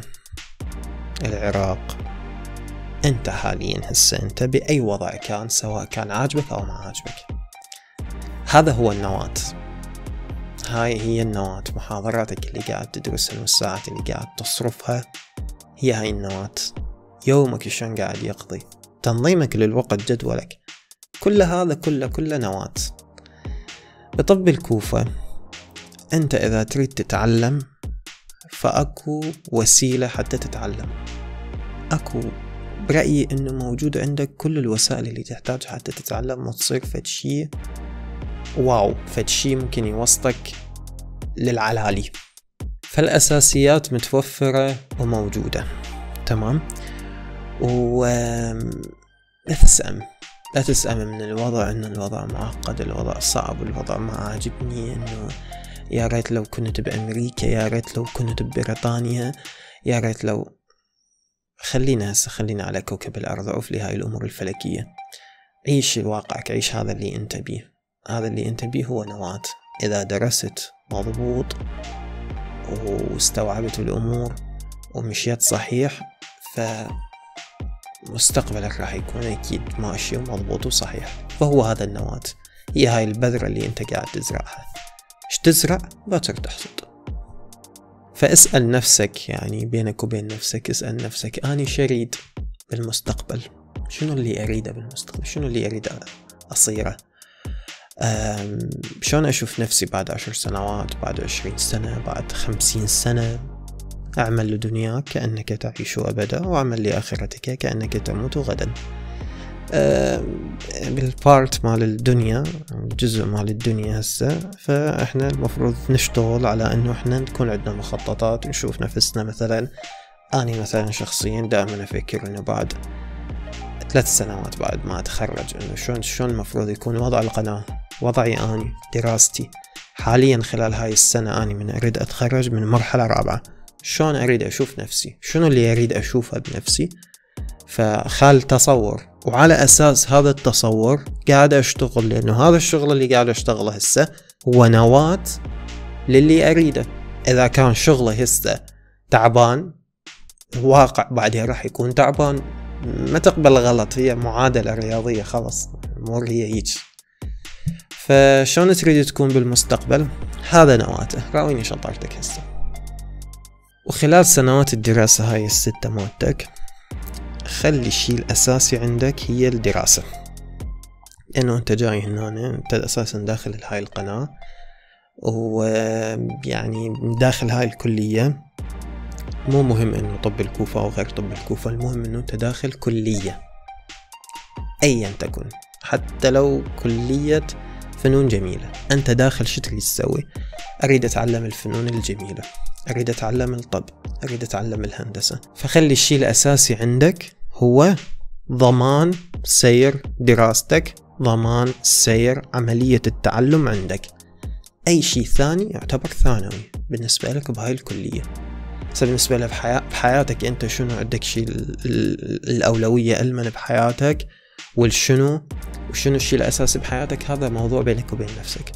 بس أنت بهاي الكلية دخولك لهاي الكلية المفروض يكون الشيء الأساسي هي دراستك. العلاقات الاجتماعية العلاقات العاطفية علاقات الصداقة إلى آخره. كل هاي الأشياء ما المفروض تعطلك عن دراستك؟ أصدقائك المفروض يدعموك ويدفعوك حتى تدرس وحتى تتقدم. أو otherwise يعني إذا ما كانوا هيجي فبالغالب إنه ذولا يا أما أصدقاء كاذبين يا أما مجرد زملاء أو منافسين. فلا تخلي لا تخلي الشي يعطلك لأنه بعدين بعدين ما اللي راح يدوم شنو؟ سواء لهم هؤلاء الأشخاص اللي أنت قاعد تعطيهم هاي الأهمية أو أي أهمية تعطيهم إياه بحيث أنه أهمية أكثر من دراستك تصل أحيانا فذولا ما راح يدومون. اللي راح يدوم شنو؟ دراستك أنت أنت نفسك يعني شغلك دراستك هذا هو اللي راح يدوم. فتمسك باللي راح يدوم واللي راح يزول. وهذا ما يعني إنه أنت المفروض تغلق على نفسك وما تصنع أصدقاء وما تصنع علاقات حتى لو كانت علاقات زملاء حتى لو كانت علاقات تنافس. آه لا ما المفروض تغلق على نفسك. لازم يكون عندك أصدقاء لازم يكون عندك معرفة معارف. آه عادي. عيش حياة الحياة عيش الحياة بكل تفاصيلها. آه إنه تنغلق على نفسك هذا هم ممكن أيضا يأثر سلبا على دراستك بحيث إنه تكون تروح وتجي للكلية عبارة عن جسد بلا روح. فلا تسوي هيك لا. إنه تعرف على ناس حبهم اليوم يحبوك. آه يعني عيش عيش الواقع الاجتماعي عيش الحياة الاجتماعية مثل ما هي عادي. بس الأولوية شنو؟ أولوية لدراستك. واللي راح يحبك راح يهتم بدراستك مثل ما يعني يهتم بيك. فاللي راح يحبك راح يهتم لاهتمامك. تمام؟ ونقطة مهمة يعني طالما حسينا بهذا الموضوع. لا تندفع كلش بالبداية. أنت أنت فاهم أنا عن شنو قاعد أحكي؟ وأني فاهم أنت إيش فهمت؟ لا تندفع كلش بالبداية. أنت صحيح يعني ما شاء الله عليك إنه تعرف المجتمع وتعرف الناس وصار لك هواي بيهم. عين ما شاء الله عليك يعني. بس ما ذلك إنه لا تندفع. ماكو داعي للاندفاع. خذ الأمور بهداوة. آه لا تثق بالناس كلش بالبداية. آه لا شوية شوية شوية. إهدى يعني إهدى. بعدين إنه أكو ناس هواية راح يتغيرون. أكو ناس هواية إنه كانوا أساسا فيك بتشي ضباب. يعني مو حقيقي. آه فيعني لا تندفع كلش لأنه هاي النقطة أنا ليش أحكي عنها؟ لأنه لها تأثير على الدراسة. يعني آه بعدين خيبات الأمل بالحياة بشكل عام. أحيانا تتجمع كلها تطلع لك دفعة واحدة سواء كانت بالدراسة ولا بالعلاقات الاجتماعية ولا ولا بأي جانب من جوانب الحياة كلها تتجمع وتطلع دفعة واحدة يجي كلها دفعة واحدة. فيعني حاول تقلل كمية المشاكل وكمية الأخطاء اللي تسويها خلال مسيرتك الدراسية وركز على دراستك اصنع علاقات لطيفة بس لا تتعمق كلش. تأنى okay تأنى الطريق السليم هو الطريق البطيء.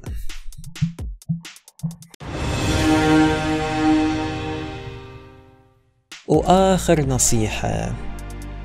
الكل راح يكون عنده تراكمات. ماكو واحد ما راح يكون عنده تراكمات. كل إحنا عندنا تراكمات. وأنا شخصيا لو رجع بي الزمن ورجعت للمرحلة الأولى فراح أقرأ أكثر مما قرأت وراح أهتم أكثر مما اهتميت. هذا الشيء راح ي... يعني هاي هاي هذا الكلمة اللي قلتها. كل اللي واعي على نفسه وواعي على حياته راح لك إياها. فلو رجع بينا الزمن راح نسوي أكثر من اللي سويناه. هاي حقيقة. بس بعد المستقبل قدامنا وبعدنا قاعد نشتغل عادي يعني. مو يعني مو كلش سيء الوضع. لا أكيد مو كلش سيء. فإن شاء الله يعني إنه راح نسوي أكثر من اللي ما قدرنا نسويه.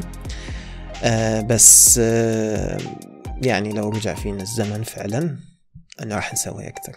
ليش؟ لأنه هسه هسه أنا من المستقبل بالنسبة لك. فهسه يعني قاعد أشوف أنه لو كنت مثلا بالمرحلة الأولى مثلا مثلا كملت Lippincott كله درست كل Lippincott كان راح يكون أفضل. وكذلك بالمرحلة الثانية لو كنت درست الفيزيولوجي كله أيضا كان راح يكون أفضل. ال phase 1 لو كنت درست الفيزيولوجي كله بشكل عام أيضا راح يكون أفضل. لو كنت درست ال ECG كله أيضا راح يكون أفضل. ف هاي الحقيقة. لو رجع بينا الزمن راح نسوي أكثر.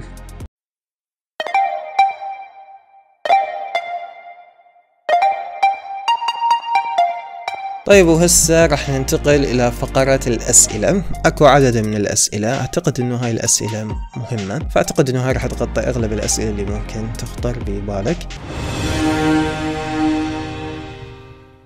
كيف أحل مشكلة اللغة الإنجليزية؟ قبل شوية حكينا عن مشكلة اللغة الإنجليزية. فاللغة الإنجليزية ببساطة تحلها أنه لما تحفظ عدد أكبر من الكلمات وتقرأ عدد أكبر من النصوص راح تنحل عندك المشكلة الإنجليزية مشكلة اللغة الإنجليزية. مو تروح تدخل لي دورات باللغة الإنجليزية أو تروح أنه خلي أشوف أفلام أكثر خلي هذا ما له علاقة. الكونسبت هو واحد. أنا مشكلتي باللغة الإنجليزية ما عندي مفردات. أحتاج مفردات أحتاج أحفظ كلمات. ماكو شي راح يخليك تحفظ كلمات غير إنه تجيب ورقة وقلم وتتعامل مع الأمور بطريقة يعني هي هاي الطريقة تجيب ورقة وقلم وتحفظ وتراجع الكلمات ماكو غيرها. ولازم تسوي هيك شي.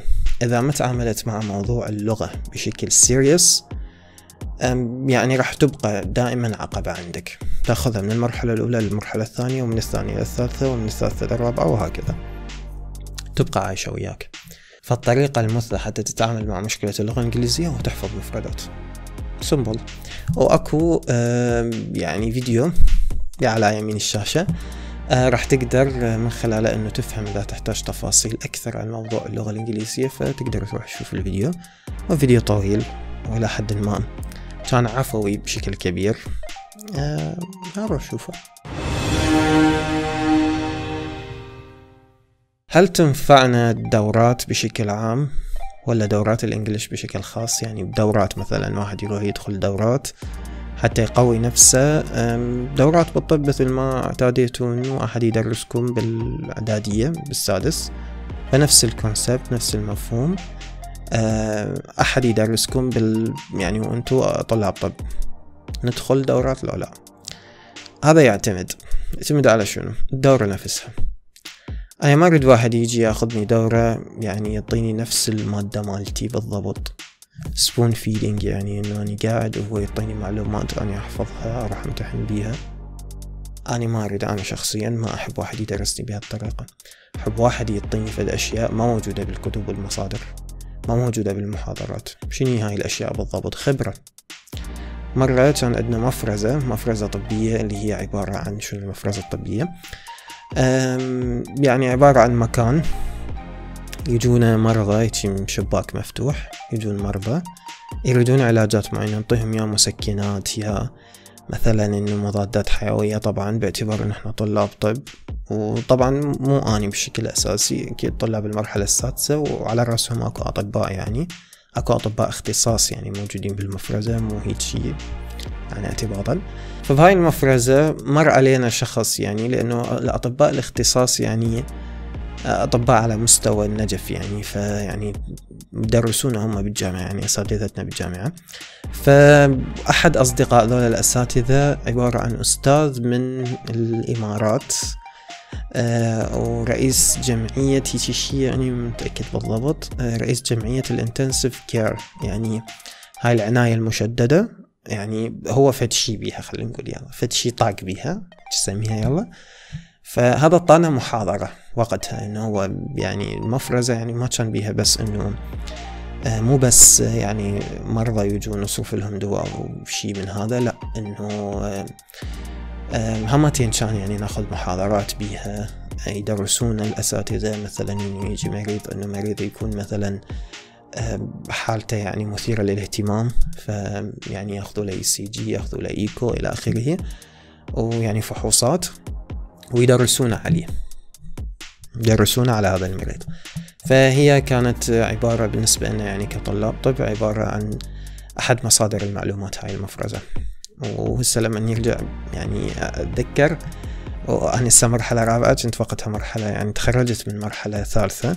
وما كان عندي مثل المعلومات مثل ما هسه عندي. فأتمنى لو ترجع تنعاد هاي المفرزة حتى أتعلم بعد أكثر. لأنه كل ما تعلمت أكثر كل ما كان عندك قدرة على أنه تتعلم بعد أكثر. فعموما أعطونا آه، دورة يعني. هذا الشخص كان آه، يعني قال إنه إيش قد تعرفون من الإنتنسيف كير؟ إيش قد تعتقدون إنه أنتم تعرفون؟ واحد جوابه خمسين بالمية. طبيب متخرج مقيم دورة يعني قاعد آه، يعني يمارس مهنته الطبية قال له خمسين بالمية. شخص ثاني قال له طع نسبة أعلى مثلا إحنا كطلاب قلنا له خمسة وعشرين بالمية. كطالب قال له عشرة بالمية. إيش قال؟ قال انتو كلكم تعرفون مية بالمية. كلكم تعرفون مية بالمية. استغربنا يعني. شلون مية بالمية؟ قال كلها عبارة عن أشياء أساسية. إحنا بالإنتنسيف كير رح نحافظ على الوظائف الحيوية للجسم. شلون نحافظ عليها؟ أكو عبارة عن يعني مفاهيم أساسية نتعامل وياها. طبعا وقتها صورت الفيديو مالته والفيديو موجود عندي يعني. ف يعني نتعامل مع مفاهيم أساسية. هاي المفاهيم الأساسية هي اللي يعني كلكم تعرفوها وكلكم راح تظلون دائما تشتغلون بيها. آه بس مجرد إنه يكون عندكم طريقة بالتفكير صحيحة حيوصلكم آه للنتيجة اللي يعني المطلوبة من عندكم حتى تنقذون هذا المريض. فهنا مثلا إيش نوع من الدورات إنه شخص يعني عنده خبرة يعطيك الخبرة مالته؟ يعني أغلبنا أكيد إنه إحنا اللي قاعدين مثلا أنا شخصيا ما أعتقد إنه عندي مية بالمية بس هو هذا الشخص يعتقد إنه هو أنا عندي مية بالمية مجرد إنه أعرف شلون أستخدم المعلومات اللي عندي. هي هاي المهارة اللي راح أحصل عليها لما أصير بمكانة مثلا. طبعا أكيد راح أتعلم أكثر بس بشكل أساسي إنه هي الفكرة إنه لما يجي هيجي شخص يكون عنده خبرة ويعطيك الخبرة مالته وهذا اللي أنت تريده. مثلا شخص إنه مجرد يقرأ لك المحاضرة ويفسر لك إياها يترجم لك إياها لأنه أنت مثلا ما بيك حل تترجمها أو ما بيك حل تقرأها فهذا ما قاعد يعطيك شيء جديد. هذا بنقاط معينه يمكن يضيع وقتك. ونقطة أنت إذا ظليت دائما تعتمد على شخص يعطيك المعلومة بحياتك ما راح تعرف تروح تجيب المعلومة. فالدورات يعني سيف ذو حدين ممكن تفيدك ممكن ما تفيدك. فالدورة اللي تدخلها ويكون أكو شخص اختصاص وشخص ذو خبرة بحيث يعطيك خبرة خبرة سنوات. وبالعادة ذولا مثلا ما راح يدرسوك لمدة أشهر يعني يوم يومين ماكسيموم ف يعني ما راح يعطوك يعني جزء أسبوع اذا كلش يعني إلا إذا دورات مال يعني بعد التخرج. تروح تدرس دورات فهذا غير شيء.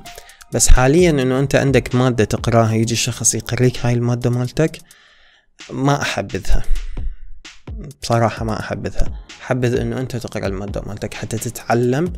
أنت تعلم نفسك. أما هنا أنت تروح واحد يعلمك فراح تبقى دائما معتمد عليه. فبهالحالة آه، فقدت مهارة القدرة على تعلم شيء جديد. دائما راح تبقى معتمد على غيرك يعلمك. أما دورات الإنجليش الدورات اللي راح تقويك باللغة الإنجليزية فهي بالحقيقة ما راح تسوي فد شي كبير. لأنه حتى تتقوى باللغة الإنجليزية حتى تساعدك بدراستك بكلية الطب هو لازم تقرأ هواية تحفظ فوكابس آه، آه، أكثر اللي هي مفردات أكثر تقرأ نصوص أكثر يصير عندك خبرة أكثر بقراءة النصوص وتفسيرها وترجمتها بشكل دقيق. هذا اللي راح يطورك باللغة الإنجليزية اللي تحتاجه حتى تدرس. أما دورات اللغة الإنجليزية ما راح تركز لك على هاي الأمور لأن هاي مجهود شخصي. يعني ما راح تنفعك بشي. دورات الإنجليزي راح تنفعك لما أنت مثلا تريد تتحدث باللغة الإنجليزية بطلاقة فتلاقي هناك أشخاص يتحدثون وياكم طبعا بصراحة يعني بالغالب ما راح تكون كمية كافية لأنه يكون مثلا بالصف عشرين شخص حتى لو كان عشرين شخص يعتبر عدد قليل هم ما راح يكفي. ما راح تاخذ كمية كافية من إنه أنت يعني تتكلم مع شخص هو مثلا ملم باللغة الإنجليزية ويعني مثلا يصحح لك أو شيء حتى تقوي نفسك يعني talking listening مثلا عندك الأفلام الإنجليزية اللي تستمع يعني عندك الأفلام الإنجليزية كلش كافية آه، أو الأفلام الأجنبية إنجليزية بشكل أساسي والأمريكية. يلا أخاف أحد يدقق. طيب باش. مثلا ال writing انت من تكتب هو انت من تقرأ هواية وتحفظ آه، كلمات هواية اوريدي آه، راح يصير عندك يعني تقدر تكتب. فباختصار شديد لا تفكر بدورات اللغة الإنجليزية أبدا. هاتك إياها من الأخير. لا تفكر بدورات اللغة الإنجليزية. فكر بأنه تقرأ أنت مجهود شخصي. أنت تقرأ آه وتكتب تحفظ هو هذا المطلوب. هو هذا اللي راح يطورك ويخليك تقدر آه تقرأ يعني كمواد طبية بكفاءة أعلى وبسرعة أعلى. ماكو دورة راح تعطيك هذا الشيء. كطالب مرحلة أولى أحتاج المصادر؟ أحتاج أدرس مصادر؟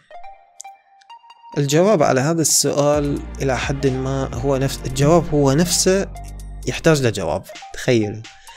آه أنت ما راح تقدر يعني تستغني تماما عن المصادر بكلية الطب. يعني إذا مثلا تفكيرك أنا ما أريد مصادر ومصادر صعبة وضخمة آه وتحتاج وقت طويل فأستغني عن المصادر. أكو فعليا طلاب هواية ما يلزم المصدر يقرأ منها غلاف للغلاف لا يروح فقط للأشياء اللي يحتاجها. وبالعادة أنه يترك يحاول يترك النصوص النصوص الطويلة يروح للجداول. أكو هواي عندنا جداول بالمصادر. فيروح للجداول هي هاي اللي يريدها أو أكو مصادر. عندي مصدر خلي أجيبه وجهي فهذا المصدر هذا نسميه Pathoma. Fundamentals of Pathology. Pathoma dot com. طبعا هذا اللي مسويه شخص عربي. أوكي هو مصدر كله إنجليزي. أوكي بس هو مسوي شخص عربي. آه بس عايش أعتقد ببريطانيا أو شي هيك أو بروفيسور ببريطانيا عموما هذا المصدر شنو الميزة اللي بيه طبعا ما أعرف إذا قاعد تشوفوه ولا لا. هذا المصدر.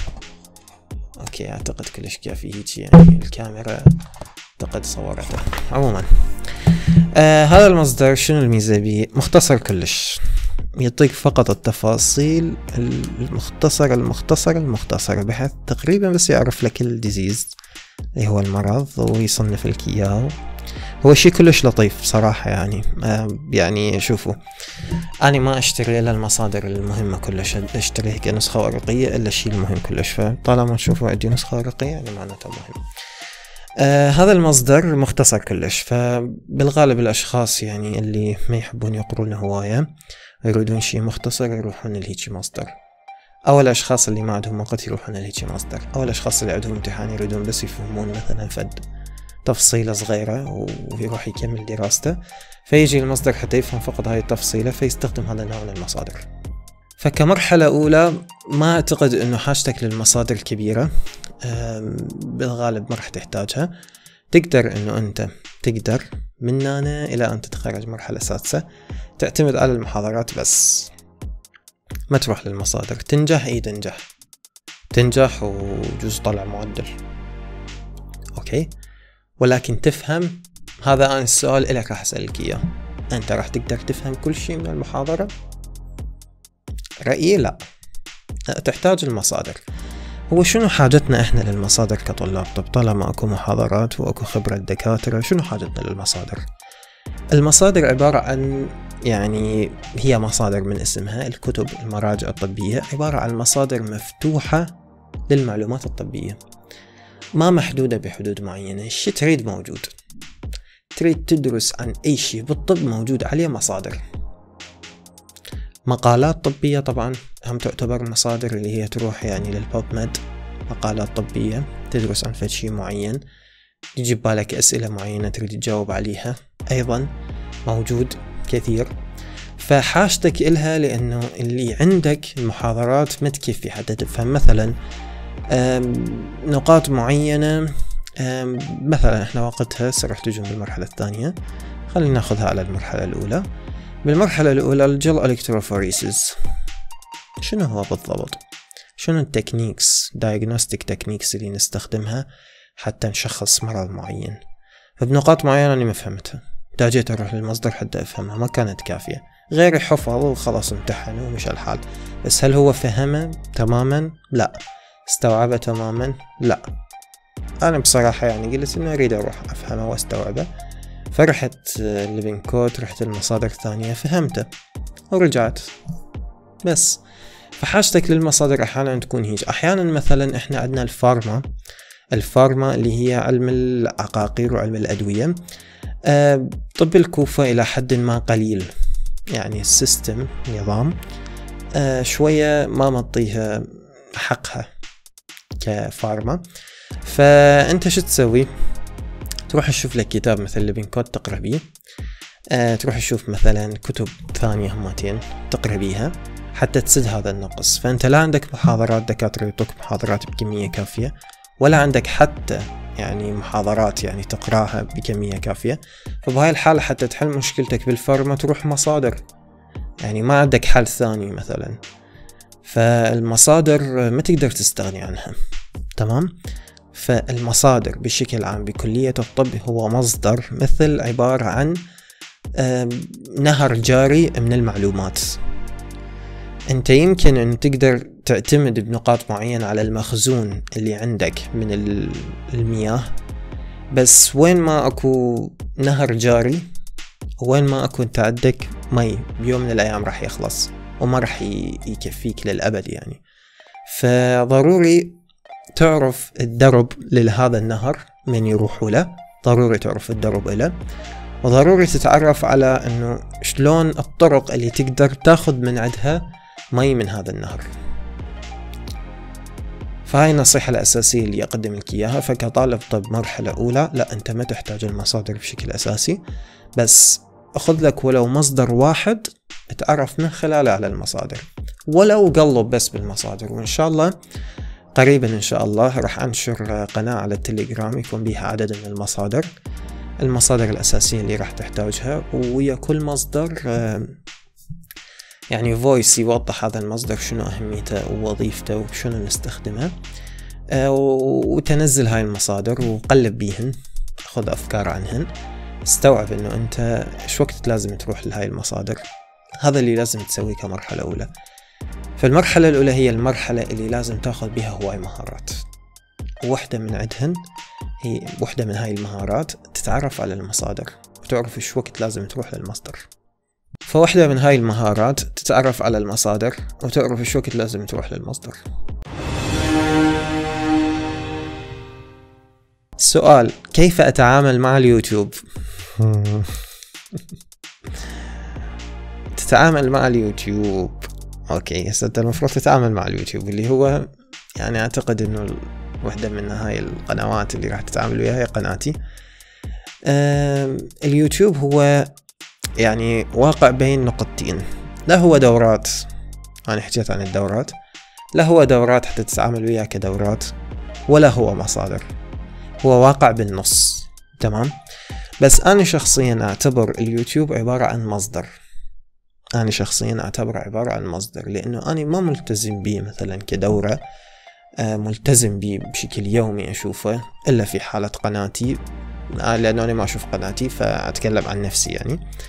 فما ملتزم به كدورة وقد أحتاج شيء حال حال المصدر.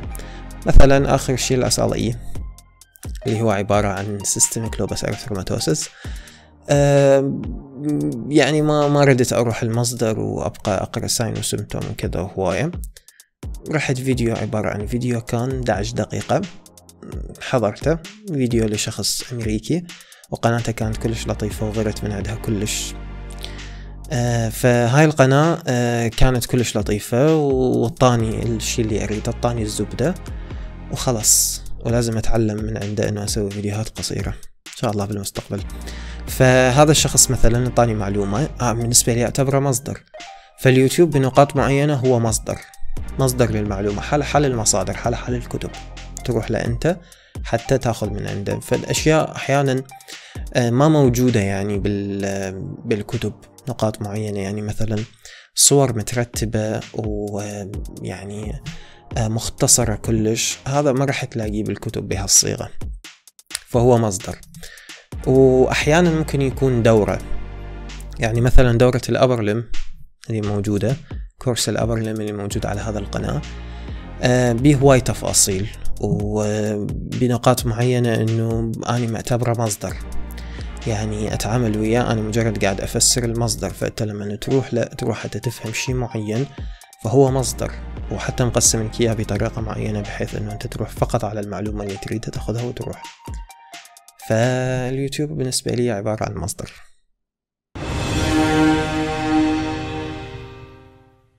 هل الجوجل يعتبر مصدر موثوق للمعلومات؟ هو جوجل عبارة عن شنو؟ عبارة عن إنه شكو واحد عنده معلومة ينشرها. جوجل يروح يجيب لك المعلومة اللي نشرها هذا الشخص ويجيب لك اسم الناشر ومنو نشرها وإلى آخره. الناشر نفسه موثوق لو ما موثوق. مثلا إذا بحثت عن ميدسكيب بالجوجل ممكن يجيب لك معلومات من ويكيبيديا ممكن يجيب لك معلومات من ميدسكيب ممكن يجيب لك معلومات من ممكن PubMed مثلا يجيب لك معلومات من PubMed فجوجل هو ببساطة عبارة عن وسيط يروح يجيب لك معلومات من شخص آخر أو من مكان آخر. فهل هذا المكان الآخر موثوق أو لا؟ فبرأيي يعني إنه لا تبحث بالجوجل بشكل مباشر لأنه عمليا أنا يعني بحثت بشغلات لقيتها ما موثوقة. يا إما تكون قديمة كلش آه، أو تكون مثلا جديدة كلش بحيث انه المصادر بعدها ما ماخذتها وأني مسؤول عن المصادر اللي عندي حاليا. بعد أكو شغلات معينة لحد الآن مثلا controversy يعني بعدهم. يعني ما موثقيها كلش بعد أكو جدل عليها. فأنت بهاي الحالة يعني من تروح تاخذ معلومة من مصدر مثل جوجل أو مصادر أخرى. جوجل يجيب لك إياها لأنه جوجل وسيط بهالحالة. فهذا يعتمد على أنه لازم يكون عندك خبرة بحيث تميز هل المعلومة صحيحة المعلومة مو صحيحة. فبالنهاية ما أنصحك أبدا أنه تعتمد على جوجل. أعتمد على آه، كتبك لأنه هي كتبك بشكل أساسي. بها هواي معلومات وإن شاء الله يعني بس تنشر هاي القناة راح تصير تعرف أنه وين تروح المصادر اللي تستخدمها وش وقت تستخدمها. وليش تستخدمها وشون تستخدمها؟ كل هاي الأسئلة راح أجاوب عليها هاي القناة. أوكي؟ ف see you يعني بديش القناة. كم ساعة يجب أن أدرس؟ كم ساعة المفروض أدرس؟ هذا يعتمد على أنه أنت قد تريد تطي من نفسك ويعتمد على أنه أنت قد قادر تطي من نفسك ويعتمد على أنه أنت قد تحتاج تطي وقت. مثلا كطالب طب مرحلة رابعة يعتمد على ال block اللي قاعد أدرسه. مثلا block ال endo endocrinology ما أحتاج من عندي كمية كبيرة من الدراسة. آه، مقارنة ب block ال GIT أعتقد إنه راح يحتاج وقت أكثر فهذا يعتمد على المادة اللي أنت قاعد تاخذها. مثلا يعني سنة أولى مثلا ما تحتاج وقت هواية كلش أغلب وقتك راح يضيع بأنه شلون تدرس الترجمة حفظ الكلمات وقت هواي راح يروح على ذني آه، بينما مثلا تروح مرحلة ثانية فوقت راح يروح على المادة العلمية نفسها مرحلة ثالثة كذلك المادة العلمية نفسها. مرحلة رابعة راح تحتاج تشتغل على مهاراتك أكثر من معلوماتك. فهذا يعتمد كم ساعة تدرس هذا يعتمد على وضعك أنت شنو أنت إيش قد تقدر تعطي أه وش قد تحتاج. فكل هاي تعتمد ومناقشة هذا الشيء فقرة تنظيم الوقت. أي مادة أهم من باقي المواد؟ المادة اللي تكون كلش مهمة بحيث لازم أهتم بيها. هذا يعتمد. أنا برأيي شخصيا بصراحة آه، بالغالب المادة الأصعب هي الأهم. بالغالب. آه مثلا وقت رحت المرحلة الثانية ال semester الثاني بالنسبة لي كان ال GIT اللي هو عمليا مو GIT هو digestive system آه اللي هو الجهاز الهضمي. كان أهم مادة بال semester الرابع S4 فكان أهم مادة. فتعاملت وياه أول شي وطيتها وقت جدا طويل آه مقارنة بباقي المواد. اعتبرته كلش مهم. فأهميته اجت من صعوبته ومن كثافته. بينما مثلا بالسمستر الثاني اللي أنتم بيه حاليا اللي أنتم مرحلة أولى سمستر ثاني فأهم مادة برأيي هي الميتابوليزم. ليش؟ لأنه مهمة جدا ولها تأثير على المستقبل وإلى حد ما من أكثر المواد اللي حبيتها بالسمستر الثاني. tissues of the body راح ترجع تنعاد. يعني الأنسجة راح ترجع تنعاد مرة ثانية. فما أحس أبدا أنه لها تأثير كبير آه مثلا أنه ال MGD تأثيرها فقط ال gel electrophoresis ال techniques الوراثة مثلا تفهم نقاط معينة بالوراثة. عدا ذلك يعني ما راح تحتاجها بالمستقبل. ال health and disease راح تحتاجها. health and disease and population راح تحتاجها فتعتبر مادة مهمة. فعمليا لو أردت ألخص أقول health and disease and population و metabolism هن أهم المواد بالسمستر الثاني. بس مو معناته أنه بس ذني تدرسون وتترك البقية. لا كل المفروض تدرسه لأنه كله له تأثير. ما وضع إلا لغاية. أخذ الغاية وترك الباقي. كيف أتعامل مع ال small group؟ طبعا إحنا وقتها من كنا نتعامل ويا ال small group كنا نتعامل بطريقة حقيرة شوية. يعني كان المفروض نتعامل أفضل من هذا. أه بس بشكل عام تستفيدوا من أخطاء الماضين. أوكي. أه small group إنه المفروض تدرس المحاضرة. زين. حتى تروح دارس. تروح مدارس ما راح تستفاد. حتى تتناقش بينك وبين آه، زميلك. تصير نقاش. تدرسون يعني أنتوا رايحين تدرسون مدة هاي لثلاث ساعات اللي أحيانا توصل لثلاث ساعات أحيانا ساعة ونص أحيانا ساعة على حسب. ماكو وقت محدد آه، أنتوا شو تخلصون وتقومون ف يعني عمليا آه، بروحوا أنتوا دارسين لازم تدرسون قبل لا تروحون آه، وتناقشوا. حتى لو رحتوا انت ما دارس وكل شيء ولا يهمك تناقشوا. لابد إنه أنت دارستك شغلة وزميلك دارس شغلة. ناقشوا بيناتكم ضروري تتناقشون النقاش مهم جدا راح يرسخ المعلومة. وبعدين لما تنزنق يعني آه، ما يكون عندك وقت وتنحشر بالامتحان. فممكن إنه هاي اللحظات اللي تناقشت بيها هي اللي راح تنقلك. فأنت تقرأ المحاضرة تقرأها زين المحاضرات أو المحاضرة. وتروح لل workbook بالعادة workbook أو handbook آه، تقرأ السؤال وتحاول تشوف أنت تقدر تجاوب عليه وحدك ولا لا. إذا ما قدرت تجاوب عليه لازم تندل درب المصادر.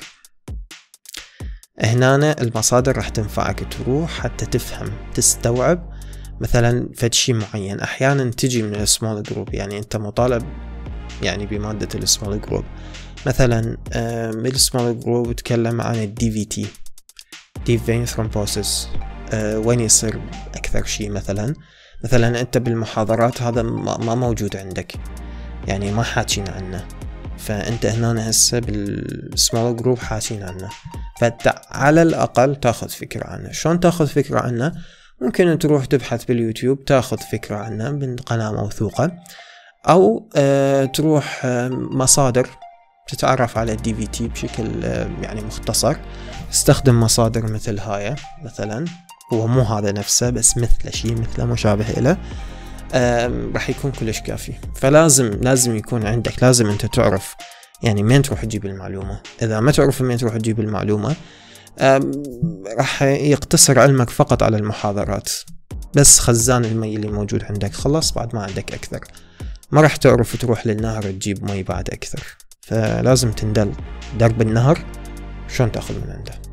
وإن شاء الله على فكرة المصادر إن شاء الله راح يكون أكو فيديو خاص للمصادر وشون أخذ المعلومة من عندها. إن شاء الله بالمستقبل القريب البعيد. هل نظام طب الكوفة يأهلني حتى أصير طبيب ناجح؟ أنا أشرت لهاي النقطة. آه النظام يعني بيه كل اللي أنت تحتاجه تقريبا. هو شنو اللي تحتاجه؟ معلومات ومستشفى حتى تروح تشوف مرضى ودكاترة يدرسوك. الدكاترة من ال phase 2 فشي كلش لطيف. بال phase 1 يعني هو phase 1 يعتمد عليك أكثر من باقي ال... يعني أكثر من الدكاترة. الدكاترة أنت راح تحتاجهم لأنه بنقاط معينة المصادر ما راح تكفيك. يحتاج أنه شخص معين يعلمك مهارات. المهارات ما راح تكفيك المصادر بيها. فبال phase 2 راح تشوف دكاترة لطيفين جدا. ربما بحكم هواي أشياء. بس من ناحية علمية يعني هما دكاترة ال clinical اللي موجودين بالمستشفى فراح تتعلم من عندهم هواي. وراح يفيدوك أكثر وراح يعطوك مهارات. فهذا هاي الأمور كلها مهمة. آه، من ناحية آه، الدراسة يعني أنت تقدر تروح للمصادر. مصادر موجودة وبكميات كبيرة. ماكو شيء راح تحتاجه من ناحية مصادر الكتب ما موجود ومتوفر بكل مكان. PDF متوفر وإذا ما متوفر PDF تقدر تشتري الكتب يعني. فكل شيء موجود وهم راح أحكي عن موضوع شراء الكتب هذا بفيديو المصادر. فكل شيء تريده موجود كل شيء متوفر. أنت تقدر تصير الشيء اللي أنت تريده وتقدر لا تقتنع بالشيء اللي يعطوك إياه بس ما تروح تسعى. لشيء أكثر. وعمليا هذا الشيء موجود بكل الجامعات. يعني سؤال كل اللي تخرجوا من كامبريدج كلية الطب كانوا هم أفضل شيء؟ كانوا مبدعين؟ كانوا على مستوى عالي جدا؟ كلهم؟ لابد أنه كم شخص فشل أو مجرد أدى الأساسيات وما وصل لأعلى شيء. سوى الواجب وبس وما وصل لأعلى شيء ما كان مبدع. وأكو من طب الكوفة طلعوا وصاروا مبدعين إياكو. اسألوا. فالنظام يأهلك ويسمح لك بأن توصل لمستويات عالية.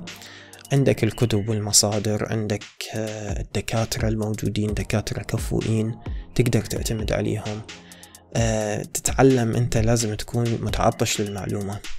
من كل مكان راداراتك دائما تشتغل وتتعلم من كل مكان ومن كل شخص.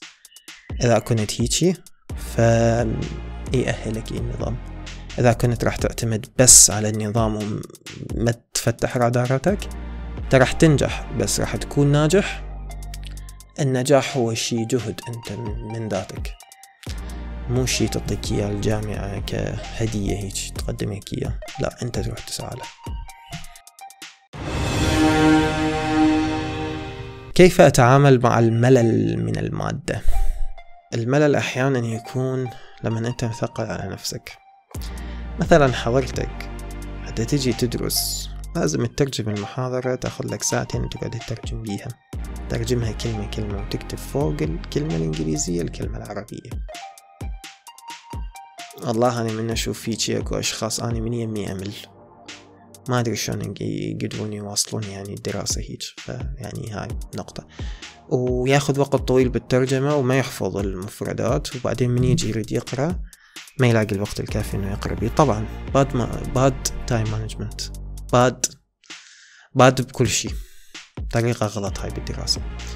آه أنت اقرأ أو الكلمة اللي تعرفها ترجمها وكمل. مثل ما شفتوا قبل شوية بالفيديو.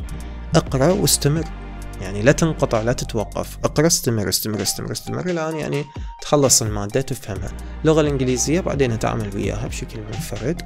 بوقت ثاني سمبل راح يعني راح تساهم بشكل كبير بمقاومة الملل. Otherwise على هذا. أكيد راح يصير عندك ملل لأنه طالما ثقلت على نفسك يصير عندك ملل. هو في كل الأحوال الدراسة شيء صعب وشيء ممل ومتعب. وكل إحنا. آني واحد من الناس. بالنسبة لي الدراسة أحيانا كثيرة تكون متعبة ومملة. بس آني أحب فكرة إنه أعرف وأتعلم. أحب فكرة إنه آني أعرف. بس فكرة إنه شلون أعرف والبروسيس مال يعني مال التعلم عملية التعلم هي مملة. بس أحب النتيجة مالتها. فاللي يريد الحلو يصبر على امره كيف أتعامل مع التشتت بالمادة العلمية؟ يصير عندي تشتت ما أعرف أنسى أضيع آه، كل شيء يتيه عندي. راجع راجع هواية. آه، ما ينفع أنه أنت قريت محاضرة وكملتها.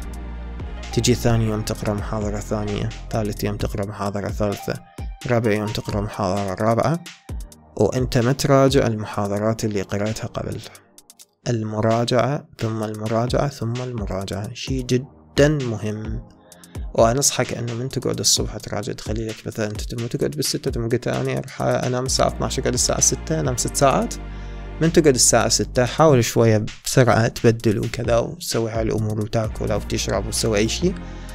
أه وخلي لك على الأقل فت ساعة راجع بيها الصبح. why not يعني؟ ليش لا؟ راجع الصبح المعلومات اللي أخذتها قبل بيوم. راجعها الصبح. لطيف راح يكون شي كلش لطيف وحتى دماغك يعني يستوعب الصبح بشكل لطيف. آه وبنفس الوقت إنه لأنه قاريها قبل فيعني راح تحس إنه هذا الطريق أنت سالكه قبل فمن تراجعه يعني ما راح يكون شي كلش intense يعني شي كلش مزعج إنه مثلا أنت قاعد من الصبح وأنت نعسان وقاعد تدرس في المادة صعبة. لا إنه ما راح تكون صعبة باعتبار قاريها قبل. فراجع الصبح مراجعة. كل شيء جدا يعني لطيف آه بأنه يقاوم التشتت وراح يساعدك بشكل كبير في ترسيخ المعلومة. راح تقل عدد الساعات اللي تحتاجها لما تريد تراجع قبل الامتحان. المادة اللي ما تراجعها بالنسبة لي مادة أنت ما قاريها. هذا حكمي على المادة اللي ما مراجعتها. مادة غير مقروءة. ونقطة مهمة أيضا بالنسبة إلي شلون تراجع؟ هاي نقطة مهمة. تراجع أنا أحيانا كثيرة قريت كملت. كملت قراءة. سد الكتاب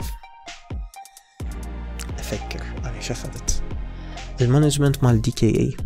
ليش ليش هاي ذكرت ال management مال DKA؟ ما أدري.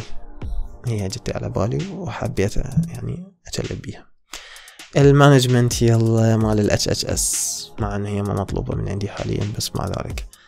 ال management مال ال HHS شنو هي؟ بالضبط أضل أفكر بيها. أول شي أتخيل أتصور. إجا المريض للطوارئ الطريقة اللي راح يجي بيها المريض كذا وكذا. هاي الهيئة مال المريض. أتصور شخص عند جانب هاي الهيئة. آه لابس ثوب أبيض. أوكي. آه فأجا يعني اتخيله هو شلون جاي. وأتخيل أول شي شنو لازم اسويه أفكر. هاي من أهم الأشياء اللي لازم تسويها يعني خلال الدراسة وبالمراجعة. من تريد تراجع الصبح الساعة ستة الصبح وأثناء الدراسة همتين تقرأ شوية تقرأ كملت مثلا موضوع تسد الكتاب تفكر أنا إيش قريت شنو المفروض يعلق بدماغي شنو أفضل نصيحة ممكن أقدمها لطالب طب مرحلة أولى؟ وهو ببداية مسيرته الدراسية. سؤال صعب هذا أنا خليته بس المفروض أجاوب عليه. أصنع سيستم صحيح. بلش من البداية صحيح. لا تبلش غلط. وتستمر غلط. اللي يبدي غلط ويستمر غلط صعب جدا إنه بعدين يكون صح. فبلش بطريقة صحيحة. أبحث عن الطريقة الصحيحة. صدقني أنا هواي نقاط أنا شخصيا بصراحة ما حد نصحني بيها. أنا فكرت وشفت. أوكي أكو أحيانا دكاترة يقولون في التفاصيل معينة. وأغلبهم بصراحة يعني هواي عندي تكونت الطريقة الصحيحة اللي أنا أعتبرها صحيحة. تكونت بلبنان. كان على أيدي دكاترة. كانت كلماتهم تعلق بدماغي. منها اللي يريد يصير neurologist آه، لازم يصير anatomist أكثر من ال anatomist نفسه. يعني اللي يريد يصير عالم بالأعصاب وكذا وعالم ب آه، الأعصاب يعني والدماغ والأعصاب. لازم يكون عنده معرفة بالتشريح أكثر من عالم التشريح نفسه. فهذا يخليني اهتمام بال anatomy لأنه عجبني كلش أصير neurologist و neurosurgeon اثنيناتهم ف يعني هذا هاي مثلا كلمات تعلق عندي. فمن أريد أدرس التشريح عندي خط أحمر. لازم أدرسه زين وحفظه زين وفهمه زين وأتصوره زين بحيث أنه لما أدخل إن شاء الله بالمستقبل راح أدخل جراحة اللي هو قريبا وأشوف العملية شو قاعد تصير قدامي. كل التراكيب اللي قاعد أشوفها أنا أعرفها وفاهمها فاهم هاي شنو ديت شنو شكو منو ليش. كل شي فاهم. وراح أبقى أريد أفهم أكثر وراح أفهم أكثر. فمثلا الطريقة الصحيحة أنت تروح تبحث عنها. واللي يبحث عن الصح بقلب صادق نقي. بأي موضوع بالحياة راح يوصل له. فابدي بالطريقة الصحيحة. دير بالك تبلش غلط تبقى غلط. شكرا لأنك وصلت لهذا الجزء من هذا الفيديو. بصراحة كان هذا الفيديو جدا متعب وكلف كثير من الوقت بالتصوير وبالمونتاج. المونتاج تعبني كلش بصراحة. وكنت بكل لحظة متردد لأن وقت الفيديو كلش طويل. ولكن اللي كان يشفع لي إنه الفيديو مقسم إلى فقرات وأنت تقدر تحضر فقط الجزء اللي تحتاجه. فما أعرف إذا كنت موفق بالخيار إني أستمر أو لا. خلوني أعرف هذا الشيء من خلال تعليقاتكم. وأشكركم جدا لأن بقيتوا للنهاية. نلتقي إن شاء الله بفيديوهات أخرى.